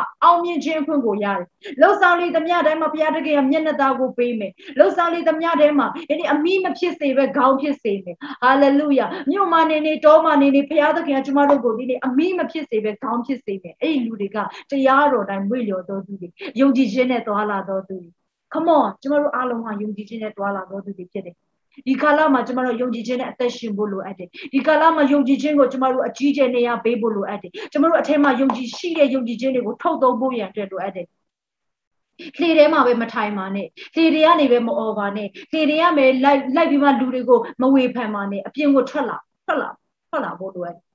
ရှိနေတဲ့နေရာကနေယုံကြည်ခြင်းနဲ့ပဲအသက်ကိုခြေလန်းလန်းရဲလာဖို့လိုအပ်ကိုယ်ထဲမှာရှိတဲ့ယုံကြည်ခြင်းတွေကိုထုတ်သုံးဖို့ရန်အတွက်လိုအပ်တယ် hallelujah ဒီနေ့ကျမတို့အားလုံးဟာ supernatural တဘာဝလွန်တဲ့နယ်ပယ်ထဲမှာခြေလန်းလန်းဖို့ရအတွက်ဒီလိုကာလကအကောင်းဆုံးသောအချိန်ဖြစ်တယ်ကျမတို့ကြုံရတဲ့အခက်အခဲတွေပြဿနာတွေဒါလူတိုင်းကြုံရပါတယ်ဟိုတယောက်တည်းကြုံတယ်လို့မခံစားပါနဲ့ကဘာမှာရှိတဲ့သူတိုင်းနော်ကြုံရကြုံရတယ်တချို့တော့မကြမ်းမချင်းတွေကြုံရတယ်တချို့တွေကနော် ငွေကြေးနဲ့ပတ်သက်ပြီးပြဿနာတွေကြုံရတယ်တချို့တွေကအထက်မတူညီတဲ့ပြဿနာခေါင်းစဉ်လေးတွေနဲ့ကြုံရတယ်အဲ့တော့ကြုံရပါတယ်အဲ့တော့ကျမတို့ကြုံရတဲ့အရာအားလုံးကကျမတို့လေယုံကြည်ခြင်းကိုလက်တွေ့ခြေလန်းလမ်းဖို့ရအတွက်အကောင်းဆုံးသောအချိန်အရာအချိန်ဖြစ်တယ်ယုံကြည်ခြင်းကိုတုံဖို့ရအတွက်လိုအပ်တယ်ကိုအကျက်တဲဖြစ်နေတဲ့အချိန် အချက်အတဲအလားအခန်းချင်းလေးတဲ့ရောက်သွားပြီလို့ကိုယ့်ကိုခံစားရတဲ့အချိန်ကသင်ရဲ့ယုံကြည်ခြင်းကိုထုတ်သုံးရမယ့်အချိန်ဖြစ်တယ်ဆိုရင်အဲ့ချိန်မှာသင်ယုံကြည်ခြင်းကဘာမှယုံကြည်ခြင်းထုတ်သုံးနေလို့လေငွေကြေးနဲ့သင်ဟာမျောလင်းချက်မရှိတော့ဘူးလို့ခံစားရစီသင်ယုံကြည်ခြင်းထုတ်သုံးဖို့လို့ဒီမဲ့ယုံကြည်ခြင်းနဲ့ပြင်မှာခြေလန်းလန်းရအောင် ယုံကြည်ခြင်းနဲ့တွာလာရအောင်ဟာလေလုယာယုံကြည်ခြင်းကကျမတို့ကိုအသက်ဖြစ်စေယုံကြည်ခြင်းကကျမတို့ကိုနောက်ထပ်လူတစ်ယောက်အနေနဲ့ပြောင်းလဲလာစေအာမင်အရင်တော့ကတော့နီနီဝင်းအောင်ဆိုတာဒါတာမန်အမျိုးသမီးတစ်ယောက်ပဲဒါပေမဲ့ယုံကြည်ခြင်းရှိလာတဲ့အခါမှာယုံကြည်ခြင်းနဲ့ခြေလန်းလန်းတဲ့အခါမှာဟာလေလုယာယေရှုကိုမိမိရဲ့ဘဝအသက်တာထဲမှာနေရာပေးတဲ့အခါမှာယုံကြည်ခြင်းနဲ့ခြေလန်းလန်းတဲ့အခါမှာဒီနေ့မတူတော့ဘူးဖြစ်တယ်နာမီတော့တူတူရင်တူအောင်မယ်ဒါပေမဲ့အသက်တာပြောင်းလဲသွားတယ် ဟာလေလုယာအရင်တော့ကတော့သင်ဟာဟာဟလာတာမန်ဖြစ်ရင်ဖြစ်မယ်အရင်တော့သင်ဟာဘုရားတခင်ရဲ့ကောင်းချီးမင်္ဂလာခံစားရတဲ့သူဖြစ်ခြင်းမှဖြစ်မယ်ဒါပေမဲ့သင်ထဲမှာယုံကြည်ခြင်းရှိလာတယ်သင်ထဲမှာယုံကြည်ခြင်းရှိလာတယ်သင်ထဲမှာနှုတ်ကပတ်တော်ရှိလာတယ်သင်ဟာနှုတ်ကပတ်တော်နဲ့နေ့တိုင်းမှာသွားလာတယ်သင်ထဲမှာရှိတဲ့ယုံကြည်ခြင်းကိုသင်ဟာထုတ်သုံးတယ်သင်ဟာလှေထဲမှာပဲမနေဘူးသင်ဟာထွက်လာတယ်ဆိုရင်သင်ဟာအရင်ကတဲ့နဲ့မတူတော့ယခုသင်ဟာ တခြားသောသူဖြစ်လာပြီယုံကြည်ခြင်းပဲယုံကြည်ခြင်းကနောက်နောက်တစ်ခုကပါလဲယုံကြည်ခြင်းကကျမတို့ကို next level ဆွဲခေါ်ပေးတယ်ယုံကြည်ခြင်းကကျမတို့ကို next level ကိုဆွဲခေါ် next level သွားချင်တယ်နောက်တစ်ဆင့်ကိုကျွန်တော်ကျမသွားချင်တယ်ဟာလားဒီဒီအဆင့်ဒီနေရာမှာပဲဒီပိတ်သိချင်းနဲ့မသွားချင်ဘူးဒီပိတ်သိချင်းထဲမှာကျွန်တော်ကျမဟာလားမကျင်လေချင်တော့ဘူးဆိုရင်ဘာလို့မလဲယုံကြည်ခြင်းရှိဖို့တော့လိုတယ်နှုတ်ကပတ်တော်ကိုချိန်ပေးပါ နှုတ်ကပတ်တော်ကိုနေရာပေးပါကိုကြားချင်ရကြားလို့မရဘူးဖြစ်တယ်ဘုရားစကားပဲကြားဖို့လိုရတယ်အာမင်လောကရဲ့တည်တွေကိုကြားမှကျွန်တော်ကျွန်မယုံကြည်ခြင်းတိုးသွားမှလားမဟုတ်ဘူးကျမ်းစာကတိတိကျပြောတယ်ယောမခန်းကြီး30လောက်ယောမခန်းကြီး30အငယ်ဆက်ခွန်မှာကြားနာခြင်းကဘုရားစကားလို့ပြောတယ်အဲ့တော့ဘုရားစကားကိုကြားဖို့လိုတယ်အဲ့တော့ဘုရားစကားကြားဖို့ရအတွက်ဘလို့ကြားနိုင်မလဲအချိန်ပေးဖို့တော့လိုတယ် အာမင်ထိုဘုရားနဲ့သင်ဟာအချိန်ယူဖို့တော့လိုတယ်ထိုဘုရားနဲ့သင်ဟာနှစ်ဖူးတွေ့ဒူးတွေ့တွေ့ဖို့တော့လိုတယ်ထိုဘုရားနဲ့သင်ဟာမျက်နှာချင်းဆိုင်တွေ့ဖို့တော့လိုတယ်ထိုဘုရားရဲ့အတန်ကိုသင်ဟာကြားဖို့ရတဲ့ဆန္ဒရှိဖို့တော့လိုတယ်ဘုရားတန်ကြားဖို့ရတဲ့ဆန္ဒမရှိဘူးဘုရားကိုအချိန်ပေးဖို့ရတဲ့အချိန်မရှိဘူးဆိုရင်တော့သင်ထဲကရှိတဲ့ယုံကြည်ခြင်းတွေဟာတည်နေလိမ့်မယ်အဲ့ယုံကြည်ခြင်းနဲ့သွားခြင်းနဲ့ယုံကြည်ခြင်းနဲ့ပဲတက်မှာခြေလန်းလန်းနေဆိုရင်လမ်းချင်နေဆိုရင်ဘာလို့နှုတ်ကပတ်တော်ကိုနေရာပေးရမလဲ ကျမဘဝရဲ့အကြောင်းကိုကျမအနေနဲ့သက်သေခံခြင်းနဲ့ကျမလွန်ခဲ့တဲ့2016ကအာဒီ DMC ရဲ့ကျန်းစာကျောင်းမှာကျမကျန်းစာကျောင်းတက်တယ်ကျန်းစာကျောင်းပြီးတာနဲ့ကျမတို့ဒီမလေးရှားရဲ့ပေါ့နော်2016 2000 2016လုံးကဖြစ်တယ်2016ဒီဇင်ဘာပေါ့နော်အဲ့တော့ကျမတို့မလေးရှားရဲ့ဒီအာနီလိုက်ဆိုတဲ့မြို့နယ်တနေကိုပေါ့နော်ကျမတို့အေဝင်ကလေးသွားတယ်ဒီဇင်ဘာကာလဆိုတော့ကျမတို့အားလုံးက carol singing ပေါ့နော် carol singing နေနဲ့ကျမတို့အဲ့ဒီကိုအဲတကယ်ကိုညီမလူမျိုးတွေနေတဲ့နေရာအဲ့ဖက်ကတော့စက်ယုံနေမြဖြစ်တယ်အဲ့တော့တော်တော်များညီမလူမျိုးတွေနေတယ်အမေယုံကြည်သူတွေတော်များစုနေကြတဲ့နေရာဖြစ်တယ်အဲ့တော့ကျမတို့ကနော်အာကျမတို့ရဲ့ဝိညာဉ်ကောင်းဆောင်ဥဆောင်ပြီးမှကျမတို့တချို့ဆရာဆရာမတွေနဲ့အဖွဲလိုက်ကျမတို့သွားကြတယ်နော်အေးဝင်ကြီးလေးသွားကြတယ် ကျမလည်းလိုက်တယ်အဲ့တော့ကကျမကအသက်16နှစ်ဖြစ်တယ်စဉ်းစားကြည့်ပါ2016မှာအသက်19ဆိုတော့အခု2021အသက်ဘယ်လောက်လဲပေါ့နော်အဲ့တော့ကျမအသက်19နှစ်အဲ့တော့ကျမတို့သွားကြတယ်အိမ်ဝင်ကလေးဟောဖို့ရတဲ့သွားတယ်အဲ့တော့ကျမတို့တချင်းတွေနော်အိမ်ဒီမှာတချင်းဆိုတယ်မယုတ်ဒီညီမလူမျိုးတွေအိမ်မှာနော်ခရစ်စမတ်တချင်းတွေဆိုပေးတယ်ပြီးတာကျမတို့ဝင်ခေါင်းဆောင်ကသူကအိမ်ဝင်ကလေးဟောတယ်အိမ်ဝင်ကလေးဟောတယ်ပြီးတော့တချို့နေရာတွေမှာတခြားသောဆရာဆရာမတွေဟောတယ် အဲ့ကျမတို့သွားရင်းနဲ့နော်အိမ်တေရောက်ခံနီးပြီနော်အဲ့ဒီမှာဒီမှာလူမျိုးတွေအရောက်နော်သူတို့ကစုနေကြတယ်သူတို့ကအယောက်20 30အဲ့လိုမျိုးစုနေကြတာကိုအဲ့တော့ကျမတို့ကဝင်ခံနီးပြီရုတ်တရက်ဆိုကျမရဲ့ဝိညာဉ်ကောင်းဆုံးကနီနီဝင်းအောင်ဟောရမယ်ဆိုကျမပြောလာဟာအရန်ကိုကြောက်သွားတယ်အဲ့ဒီအချိန်မှာကျမပြောလာတဲ့ခါမှာကျမဒူးတွေချောင်းပြီးမှလူကတုံချင်လူကလဲကြချင်တယ်လို့ဖြစ် သွားတယ်အဲ့ဒါအသက်တော်မှန်မှန်ရှူရလာပေါ့နော်အဲ့လိုမျိုးဖြစ်သွားတယ်ကျမကျမထဲမှာကြောက်စိတ်နဲ့အာစိုးရိမ်စိတ်ကကျမကိုလွှမ်းမိုးသွားတယ်ပြီးတော့အခုနကျမကြားခဲ့တယ်ဟာလားအာဆရာကျမကြီးဘယ်လိုမျိုးအေးဝင်ကလေးဟောသွားလဲဆိုရရကျမအကုန်မေ့သွားတယ်ကျမထဲမှာယုံကြည်ခြင်းကလုံးလုံးအောက်ကိုကျသွားတယ်ကျမအဲ့ချိန်မှာတခါမှတရားမဟောဘူးဖြစ်တယ်တခါမှလည်းလက်တွေ့မလုပ်ဘူးဖြစ်တယ် ဟိုလူတကယ်မယုံကြည်သူတွေရှိမှ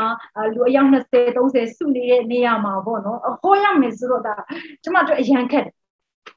ကြပြောတာပါဒါကျမတို့အရန်ခက်တယ်ကျမတို့သူတို့တွေရှိမှနှုတ်ကပတ်တော်ဟောပြီးမှမတည့်ရရမယ်ဆိုတာမင်းမငယ်လေးတယောက်နေနဲ့ပေါ့နော်အခုကိုအများကြီးတွေးလိုက်တယ်အဲကျမရဲ့အတွေ့အဟာကဘာတပတ်လောက်ဖက်သွားတယ်ပေါ့နော်အရန်ကြောက်တယ်ဒါပေမဲ့ကျမညံလိုက်တယ် ဆရာမဟောရဲဘူးပေါ့နော်ဒါဆရာမစင်မပြေဘူးဆိုပြီးကျွန်မကျွန်မတစ်ခေါက်တော့နင်းလိုက်အဲဆရာဘာပြောလဲဟောရမယ်တဲ့ဟောရမယ်ဒါလက်တွေ့လုပ်ရမယ်ဆိုပြီးကျွန်မကိုပြန်ပြောတဲ့အခါကျွန်မဟောရမယ်ဆိုတော့လေဟောမယ်ဆိုပြီးဟုတ်ကဲ့ဆရာ yes ဆိုပြီးကျွန်မလည်းလုပ်လိုက်အဲ့နဲ့ကျွန်မလည်းအဲ့ညမှာဟောလိုက်တယ်ဘာတွေဟောမှန်းတော့မသိဘူးပေါ့နော်ကိုကိုတော့မမှတ်မိဘူးကြောက်ကြောက်နေပေါ့နော်စိုးရင်စိတ်နဲ့ဟာဟောလိုက်တဲ့အခါ တကယ်လည်းဘုရားတကယ်အလို့လို့တယ်ဟာလူတွေကကယ်တင်ခြင်းဆက်ကတ်တယ်ကျွန်တော်တို့စုတောင်းပေးတယ်အဲ့ဒီမှာလူတွေကကယ်တင်ခြင်းဆက်ကတ်တယ်သူလက်တွေထောင်ဟာစုတောင်းနေခံကျွန်တော်တို့အဲ့ဒီနေရာမှာစုတောင်းပေးတယ်အကျွန်မအထဲမှာဘာဘာယုံကြည်သွားလဲဆိုရင်ယုံကြည်ခြင်းကလက်တွေ့မလုပ်ဘူးဆိုရင်မဖြစ်လာဘူးဖြစ်တယ်ကြောက်နေတာကြောက်နေတာဒါပေမဲ့တစ်ခါဟောပြီးတဲ့အခါမှာအိုးငါဟောရင်လေလူတွေကပြောင်းလဲနိုင်။အိုးငါလှုပ်ရင်လေလူတွေအဲမှာဘုရားစကားဝင်ရောက်နိုင်တယ်။အိုးငါလှုပ်လိုက်ရင်လေဘုရားသခင်အလုံးလုံးနိုင်တာပဲ။ ငါဆရာဆရာမတွေလေလှုပ်တာဘုရားခင်ကျွန်တော်တို့ကမြင်တယ်ဆရာဆရာမတွေဟလာအေဝင်ကြီးဟောတာ။ကျွန်တော်တို့အနာယောဂငြိမ်းတဲ့အရာတွေအာသူတို့တွေလောက်ပဲလုံနိုင်တယ်လို့ကျွန်မအထင်မှာအဲ့လိုမျိုးခံစားချက်ရှိတယ်။ဒါပေမဲ့ကျွန်မကိုယ်တိုင်လက်တွေ့လုပ်တဲ့အခါမှာဘုရားသခင်အလုံးလုံးနိုင်ပါလားဆိုတာကိုယ်တိုင်ယုံကြည်သွားတယ်။ကျွန်မရဲ့နာခံခြင်းနဲ့မှာဘုရားသခင်ကျွန်မကိုကောင်းချီးပေးတယ်။ကျွန်မဟောနိုင်တယ်ယုံကြည်ခြင်းရှိလာတယ်။ယုံကြည်ခြင်းအတွက်လည်းနာခံခြင်းလိုတယ်နော်မိတ်ဆွေ။အာမင်။ ဟာလေလုယာ။သင်စုံထဲမှာဝေလာတယ်။ဆစ်စမရီယာယုံကြည်ခြင်းနဲ့ခြေလန်းလန်းမှာဆိုရင်ဒါတင့်ထဲမှာနာခံခြင်းရှိဖို့လိုတယ်အဲ့နာခံခြင်းကတင့်ကိုနောက်တစ်ဆင့်ကိုပို့ဆောင်ပေးလိမ့်မယ်အာမင်ကျမအဲ့ဒီအချိန်မှာနာခံခြင်းနဲ့ yes ဆိုပြီးလှုပ်လိုက်ပေမဲ့ဒါပေမဲ့တကယ်တမ်းတော့ကျမဘာဟောရမလဲမသိခဲ့ဘူးအခုတော့ကျမကြားခဲ့ကြားထားခဲ့တဲ့ညဟလာတလျှောက်လုံးဆက်ဆရာမတွေဟောခဲ့တဲ့ညကျမအကုန်မိသွားတယ် ဘယ်နေရာကနေအင်္ဂလိပ်စပြောပြီးဘလို့အဆုံးသက်ရမလဲကျမမသိခဲ့ဘူးဘလို့ဆုတောင်းပေးရင်ကောင်းမလဲဟလာကဲတင်ချင်းစက်ကဆုတောင်းဘလို့ဆုတောင်းပေးမလဲကျမမသိခဲ့ဘူးဒါပေမဲ့ကျမနာခံခြင်းနဲ့လုပ်ခဲ့တယ်ကျွန်မယုံကြည်ခြင်းနဲ့လည်းလုပ်ခဲ့ပါတယ်အဲ့ညမှာလူတွေဟာပြောင်းနေခဲ့တယ်ဟာလေလုယာကျေးဇူးတော်ကြောင့်အဲ့ဒီညမှာလူတွေဟာယေရှုကိုမိခဲ့တယ်မှရှင်ပြယုံကြည်လက်ခံကျွန်မအယံဝမ်းသာတယ်အဲ့ဒီညကျွန်မဝမ်းအသာဆုံးဖြစ်တယ်အာမင်ကျမတို့ကျမတို့နေတဲ့နေရာကနေအဲ့ဒီနေရာကိုသွားဖို့ကတနားရီလောက်ကားစီးရတယ် တနားရီလောက်ကားစီးရကျမတို့ကားစီးကအယံမူးတယ်နော်အဲ့အဲ့ဒီတော့ကားစီးရင်ကျမကအယံကားမူးတယ်ဒါပေမဲ့အဲ့ဒီညမှာကျမအယံပြောကျမကားဘလောက်ပဲမူးနေပါစေကျမပြောရဘာလို့လဲကျမလှုပ်ဆောင်ခဲ့တဲ့အရာမှာကျမဂုဏ်ယူတယ်ကျမယုံကြည်ခြင်းနဲ့လုပ်ခဲ့တယ်ဘုရားသခင်ကအလုံးလုပ်တယ်အဲ့တော့နောက်တစ်နှစ်ပေါ့နော်အဲ့ဒါတော့က2016ပေါ့နော်အဲ့တော့2019မှာကျမကစပြီးမှအာကျမရဲ့ဒီအဖွဲ့တွေပေါ့နော်ကျမရဲ့ team တွေကိုကျမဥဆောင်ပြီးမှဒီအာမလေးရှားရဲ့ဒီ တချောင်းဆုံခိုင်း trials လို့ခေါ်တဲ့ဒီနေ့မြေကိုကျမတို့စပြီးမှအာဒီဇင်ဘာအချိန်မှာကျမတို့ kerosene ကိန်းအနေနဲ့စပြီးပြန်ထွက်တယ်2019ဖြစ်တယ်အဲ့ဒါကတော့ခုနကကျွန်မပြောတာ2016ပေါ့နော်အဲ2019ကျွန်တော်တို့အဲ့ဒီဒီဇင်ဘာမှာကျွန်တော်သွားတဲ့အခါမှာမယုံကြည်သူတွေနေမြေပေါ့နော်ကျွန်တော်တို့သွားတယ်အဲကျွန်တော်လမ်းမှာညီကိုတယောက်တွေ့တယ် ညီကိုတယောက်နဲ့ကျွန်တော်မြန်မာညီကိုတယောက်ပေါ့နော်လမ်းမှာသွားရင်းနဲ့ကျွန်တော်တို့လည်းလမ်းမှာပေါ့နော်အာလူတွေကိုပတ်ရှာပတ်ရှာဘယ်မှာမြန်မာလူမျိုးတွေရှိနေလဲပေါ့နော်ကျွန်တော်တို့လည်းမရောက်ဘူးတဲ့နေမြေတွေဖြစ်တဲ့အတွက်ကြောင့်အဲ့တော့အာဂျေဇုတော်ကြောင့်လမ်းမှာမြန်မာညီကိုတယောက်နဲ့တွေ့တဲ့အခါမှာသူ့အိမ်ကိုကျွန်တော်တို့လိုက်သွားတယ်အာသူ့အိမ်မှာလူတွေအဲ့ဒါအများကြီးရှိတယ်လူတွေစုတယ်ဆိုအာကျွန်တော်တို့လည်းကောင်းတယ်ကျွန်တော်တို့လိုက်ခဲ့မယ်နော်အာခရစ်စမတ်တခြင်းတွေဆိုဆိုပေးခြင်းနဲ့ကျွန်တော်တို့အဲ့လိုမျိုးပြောရင်းနဲ့တို့အိမ်ကိုလိုက်သွားတယ် အဲ့တော့တို့အိမ်ရောက်တဲ့အခါမှာအမှလည်းလူတွေကအများကြီးပဲစုနေတယ်အဲ့တော့ကျွန်မလည်းကျွန်မထင်းနဲ့လူတွေအမှအမှကျွန်တော်တို့တခြင်းဆိုတယ်ခရစ်စမတ်တခြင်းဆိုတယ်ပြီးရတယ်ကျွန်မအေဝင်ဂေလီဟောတယ်ပြီးရတယ်ကျွန်မတို့ကိုဆုတောင်းပေးတယ်အဲ့တော့ကျွန်မဆုတောင်းပေးတယ်ကျမကသူတို့ကိုဆူတောင်းပြီးတဲ့အခါမှာဒီလိုပြောတယ်ဘာအတွက်ဆူတောင်းစေချင်လဲဆူတောင်းစေချင်တဲ့အရာရှိလားဆူတောင်းခံချင်တဲ့အရာရှိလားဆိုပြီးကျမမေးတယ် အဲ့ဒီအခါမှာနော်အိရှင်လင်မယားပေါ့နော်သူတို့ကတော့ချင်းဖြစ်တယ်အဲ့တော့အိရှင်လင်မယားကဒီလိုဆူတောင်းခံတယ်ဆရာမရေးတယ်သူတို့ကလေးမရနိုင်တဲ့အတွက်ကြောင့်ပေါ့နော်အဲ့တော့ကလေးရဖို့ရအတွက်ဆူတောင်းပေးပါအဲ့ဆူတောင်းချက်ကြားတဲ့အခါမှာကျမတော်တော်လေးလန့်သွားခြင်းကတူတူတူခုံသွားအရန်တုံသွားကိုရိုင်ကအဲကိုရိုင်ကဘောနော်အဲ့လိုမျိုးဆူတောင်းတခါမှမတောင်းပေးခဲ့ဘူးဖြစ်တယ်ကလေးရဖို့ရန်အတွက်ဆူဘလို့တောင်းရမလဲမသိခဲ့ဘူး တရားတော့ဟောတယ်အေဝင်ကြီးတော့ဟောတယ်ဒါပေမဲ့အဲ့လိုမျိုးဆူတောင်းချက်တောင်းပေးရမယ်လို့နော်ဆူတောင်းလာခံတဲ့အခါမှာနည်းနည်းတော့စိုးရိမ်စိတ်ဖြစ်သွားတယ်ဒါပေမဲ့ကျွန်မဖတ်ခဲ့တဲ့ကျမ်းစာထဲမှာအေလိရှဲကအေလိရှဲကအမျိုးသမီးကိုနောက်နှစ်ဒီအချိန်မှာကလေးရမယ်ဆိုတဲ့ကျမ်းစာကျွန်မဖတ်ခဲ့တယ်အာမင်အားလုံးလည်းဒီကျမ်းစာကိုဖတ်မယ်လို့ကျွန်မယုံကြည်အဲ့တော့ကျွန်တော်တို့ဖတ်တဲ့ကျမ်းစာတွေကဒီတိုင်းထားဖို့မဟုတ်ဘူးအာမင်လက်တွေ့သုံးပြုဖို့ရန်အတွက်ဖြစ်တယ်အဲ့တော့ကျွန်မအဲ့ဒီကျမ်းစာကိုပြန်တတိရတယ် အဲ့အချိန်မှာဝိညာဉ်တော်ကကျွန်မကိုချက်ချင်းစကားပြောတယ်အဲလီရှဲတော်မှာ prophet အဲလီရှဲကအဲ့ဒီအမျိုးသမီးကိုဘလို့စကားပြောစင်နောက်နေ့ဒီအချိန်မှာကလေးရမယ်ဆိုပြီး prophet ပြု prophet ပြုဆုတောင်းပေးခဲ့ကျန်တာဘာမှမပြောနောက်နေ့ဒီအချိန်မှာကလေးရအဲကျွန်မအဲ့ဒီယုံကြည်ခြင်းရှိသွားတယ်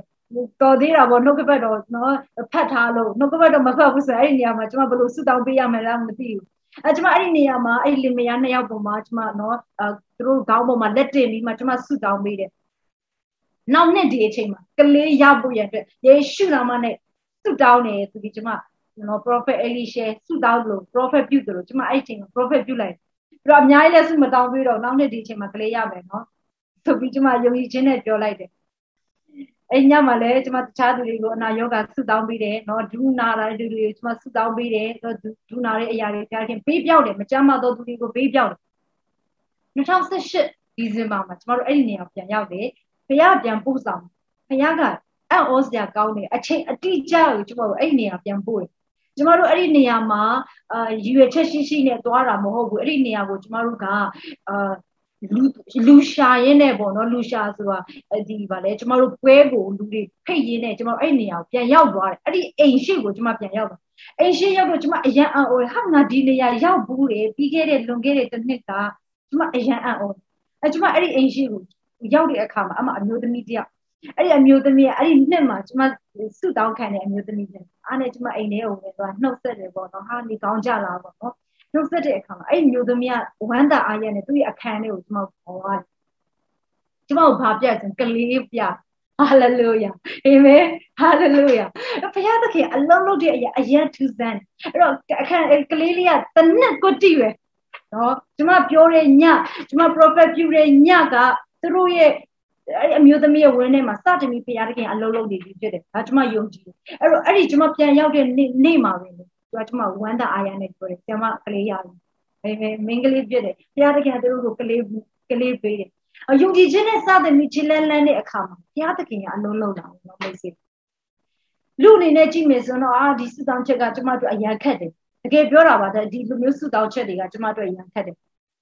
ကလေးမရတဲ့သူကကလေးရဖို့ဆုတောင်းနေဆိုတော့ကိုရိုင်းတော်မှဟလာကိုရိုင်းတော်မှအိမ်အိမ်ထောင်ရှင်မဖြစ်သေးဘူးအိမ်ထောင်ရှင်မှမဖြစ်သေးဘူးဘယ်လိုမျိုးဆုတောင်းပေးရမလဲအာဘယ်လိုမျိုးယုံကြည်ချက်နဲ့ဆုတောင်းပေးရမလဲအခုမှစတင်ပြီးမှခြေလန်းလန်းတဲ့သူတွေပဲရှိသေးတာအများကြီးစဉ်းစားစရာရှိဒါပေမဲ့ယုံကြည်ခြင်းနဲ့လုပ်ခဲ့တယ်ယုံကြည်ခြင်းနဲ့ prophet ပြုတယ်ယုံကြည်ခြင်းနဲ့ prophet ပြုဆုတောင်းပေးတဲ့အခါမှာဖယားသခင်တကယ်အလုပ်လုပ်တယ်နော် အမင်းဒါကျမသူများရဲ့အကြောင်းကိုသက်သေခံတာမဟုတ်ဘူးကျမရဲ့အကြောင်းကိုသက်သေခံတာဖြစ်တယ်ဟာလေလုယာဟေးဘုရားသခင်ကအလုံးလုံးတယ်ဘုရားသခင်ကသင်ယုံရင်ယုံတဲ့အတိုင်းဖြစ်တယ်လို့ကျမ်းစာကပြောတာကိုဟုတ်တယ်နော်သင်ယုံရင်သင်ယုံကြည်တဲ့အတိုင်းသင်နိုင်ဖြစ်စေလို့ပြောတယ်အဲသင်ဘာတွေကိုယုံတယ်ဘုရားသခင်ကကျွန်တော်ကျမကိုကယ်တင်ကယ်တင်ပေးနိုင်တဲ့ကယ်တင်ရှင်တယောက်လို့ပဲယုံနေဆိုရင်တော့ဘုရားသခင်ကကယ်တင်ရှင်တယောက်လို့ပဲယုံနေဆိုတော့ဒါအသင်အတွက်ကယ်တင်ရှင်တယောက်ပေါ့ ဒါပေမဲ့ဘုရားသခင်ကကျွန်တော်ကျမတို့အတွက်နော်အနာယောဂငြိမ်းစေနိုင်တယ်ဟလာငွေကြေးနမိတ်လက္ခဏာတွေဘုရားသခင်ကျွန်တော်ကျမတို့ကိုဖြစ်စေနိုင်တယ်ကျွန်တော်ပြောတဲ့အရာတွေဘုရားခင်ကျွန်တော်အာကျမရဲ့အသက်တာတွေမှာဖြစ်လာစေတယ်ဘုရားသခင်သင်ယုံကြည်နိုင်တဲ့အတိုင်းတာသင်ယုံကြည်လို့ရတယ်ဟာလေလုယာသင်ယုံကြည်ခြင်းကိုကန့်တက်ထားကန့်တက်ထားဖို့မဟုတ်ဘူးဖြစ်တယ်အခန်းချင်းချင်းလေးထဲမှာလို့ပစ္စည်းအများကြီးမဆန့်ဘူး ဟုတ်တယ်နော်အခန်းချင်းချင်းလေးထဲမှာပစ္စည်းအများကြီးမဆန့်ဘူးအဲ့လိုပဲချင်းမြောင်းတဲ့ယုံကြည်ခြင်းထဲမှာဘုရားသခင်ရဲ့ကောင်းကြီးမင်္ဂလာတွေလည်းမဆန့်ဘူးအာမင်ဘုရားသခင်ရဲ့ကောင်းကြီးမင်္ဂလာတွေသင်ဟာသင်ရဲ့အသက်တာထဲမှာခံစားခြင်းတွေအဲသင်ရဲ့မိသားစုတွေထဲမှာသင်ဘုရားသခင်ရဲ့ကောင်းတဲ့တကားဖွင့်ခြင်းတွေခံစားရခြင်းတွေဆိုသင်ယုံကြည်ခြင်းကိုဖွင့်ထားဖို့လိုတယ်သင်ရဲ့အခန်းကိုပြောင်းဖို့လိုရတယ်အာမင်သင်ရဲ့အခန်းကိုပြောင်းပါ တချို့အခန်းတွေကအရန်ကျင်းတယ်တချို့ယုံကြည်ခြင်းအခန်းတွေကအရန်ကျင်းတယ်အခန်းအရန်ကျင်းတယ်ဘာပြောမလဲအခန်းအရန်ကျင်းတယ်ဗီယိုတစ်လုံးနဲ့တဲ့အခန်းပြည့်သွားပြီဗီယိုတစ်လုံးထိုင်ခုံတစ်လုံးနဲ့တဲ့အခန်းပြည့်သွားပြီဘုရားတခင်ထပ်ထည့်ပေးခြင်းတယ်နော်ဘုရားတခင်ထပ်ပြီးပေးခြင်းတယ်ဘုရားတခင်ထပ်ပြီးဖြည့်ပေးခြင်းတယ်ဒါပေမဲ့ကျမတို့အထက်မှာမဆက်ဘူးပြဿနာကကျမတို့အထက်မှာမဆက်တော့တာကျမတို့အထက်မှာနေရာမရှိတော့တာယုံကြည်ခြင်းနဲ့ကျမတို့အခန်းတွေကိုပြန်ချဲ့ပါ ယုံကြည်ခြင်းနဲ့ကျမတို့နေပယ်ကိုပြန်ချဲ့ပါယုံကြည်ခြင်းနဲ့ကိုယ့်ရဲ့နေပယ်ကိုပြန်ချဲ့ပါဟာလေလုယာသင်ရဲ့စီးပွားရေးနေပယ်ကိုယုံကြည်ခြင်းနဲ့ခြေလမ်းပြန်လမ်းပါအာမင်ယုံကြည်ခြင်းကိုမကန့်ပါနဲ့ကန့်တယ်မလုပ်ပါနဲ့ဟာလေလုယာယုံကြည်ခြင်းကိုအမြဲတမ်းမှလက်တွေ့လုပ်ပါအာမင်အာမင်အရောက်ချင်းစတိုင်းဖျားရှင်အထုကောင်းကြီးပေးပါစေဒီနေ့ညမှာယုံကြည်ခြင်းနဲ့ဘလို့ခြေလန်းလန်းမယ်ကျွန်မအချက်၃ချက်နဲ့ပြောခဲ့ပါတယ်ပထမတစ်ချက်ကတော့ခြေတွေကနေပဲမထိုင်ပါနဲ့ ခြေတွေကနေပဲမអော်ပါနဲ့အရန်အဆင်ပြေနေတဲ့လှေတွေကနေသင်ဟာထွက်လာဖို့လိုတယ်ဒုတိယအချက်ကတော့သင်မှာရှိတဲ့ယုံကြည်ခြင်းကိုထုတ်သုံးပါအဲ့ဒီယုံကြည်ခြင်းကိုနေရာပေးပါအဲ့ဒီယုံကြည်ခြင်းကိုလက်တွေ့လှုပ်ဆောင်ပါကြားယုံနဲ့မဟုတ်ဘူးလက်တွေ့လာဖို့လိုတယ်ယုံကြည်ခြင်းက action ဖြစ်တယ်ပြောကြည့်ပါဦးယုံကြည်ခြင်းဒီ action ဖြစ်တယ်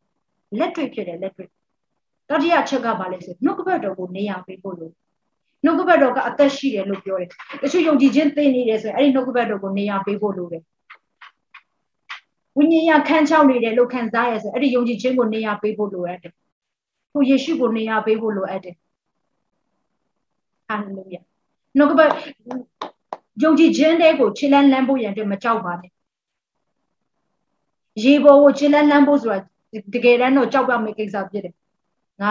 ငါရေလည်းမကူတက်ဘူးပေတရုအားဖြင့် ပေတရုကတော့ရေကူတက်မှာပါသူကတငါတယ်ဖြစ်တဲ့အတွက်ကြောင့်ဒါပေမဲ့ရေပေါ်ကိုလမ်းလျှောက်တဲ့ကိစ္စကဒါယုံကြည်ခြင်းဖြစ်ဖြစ်တယ်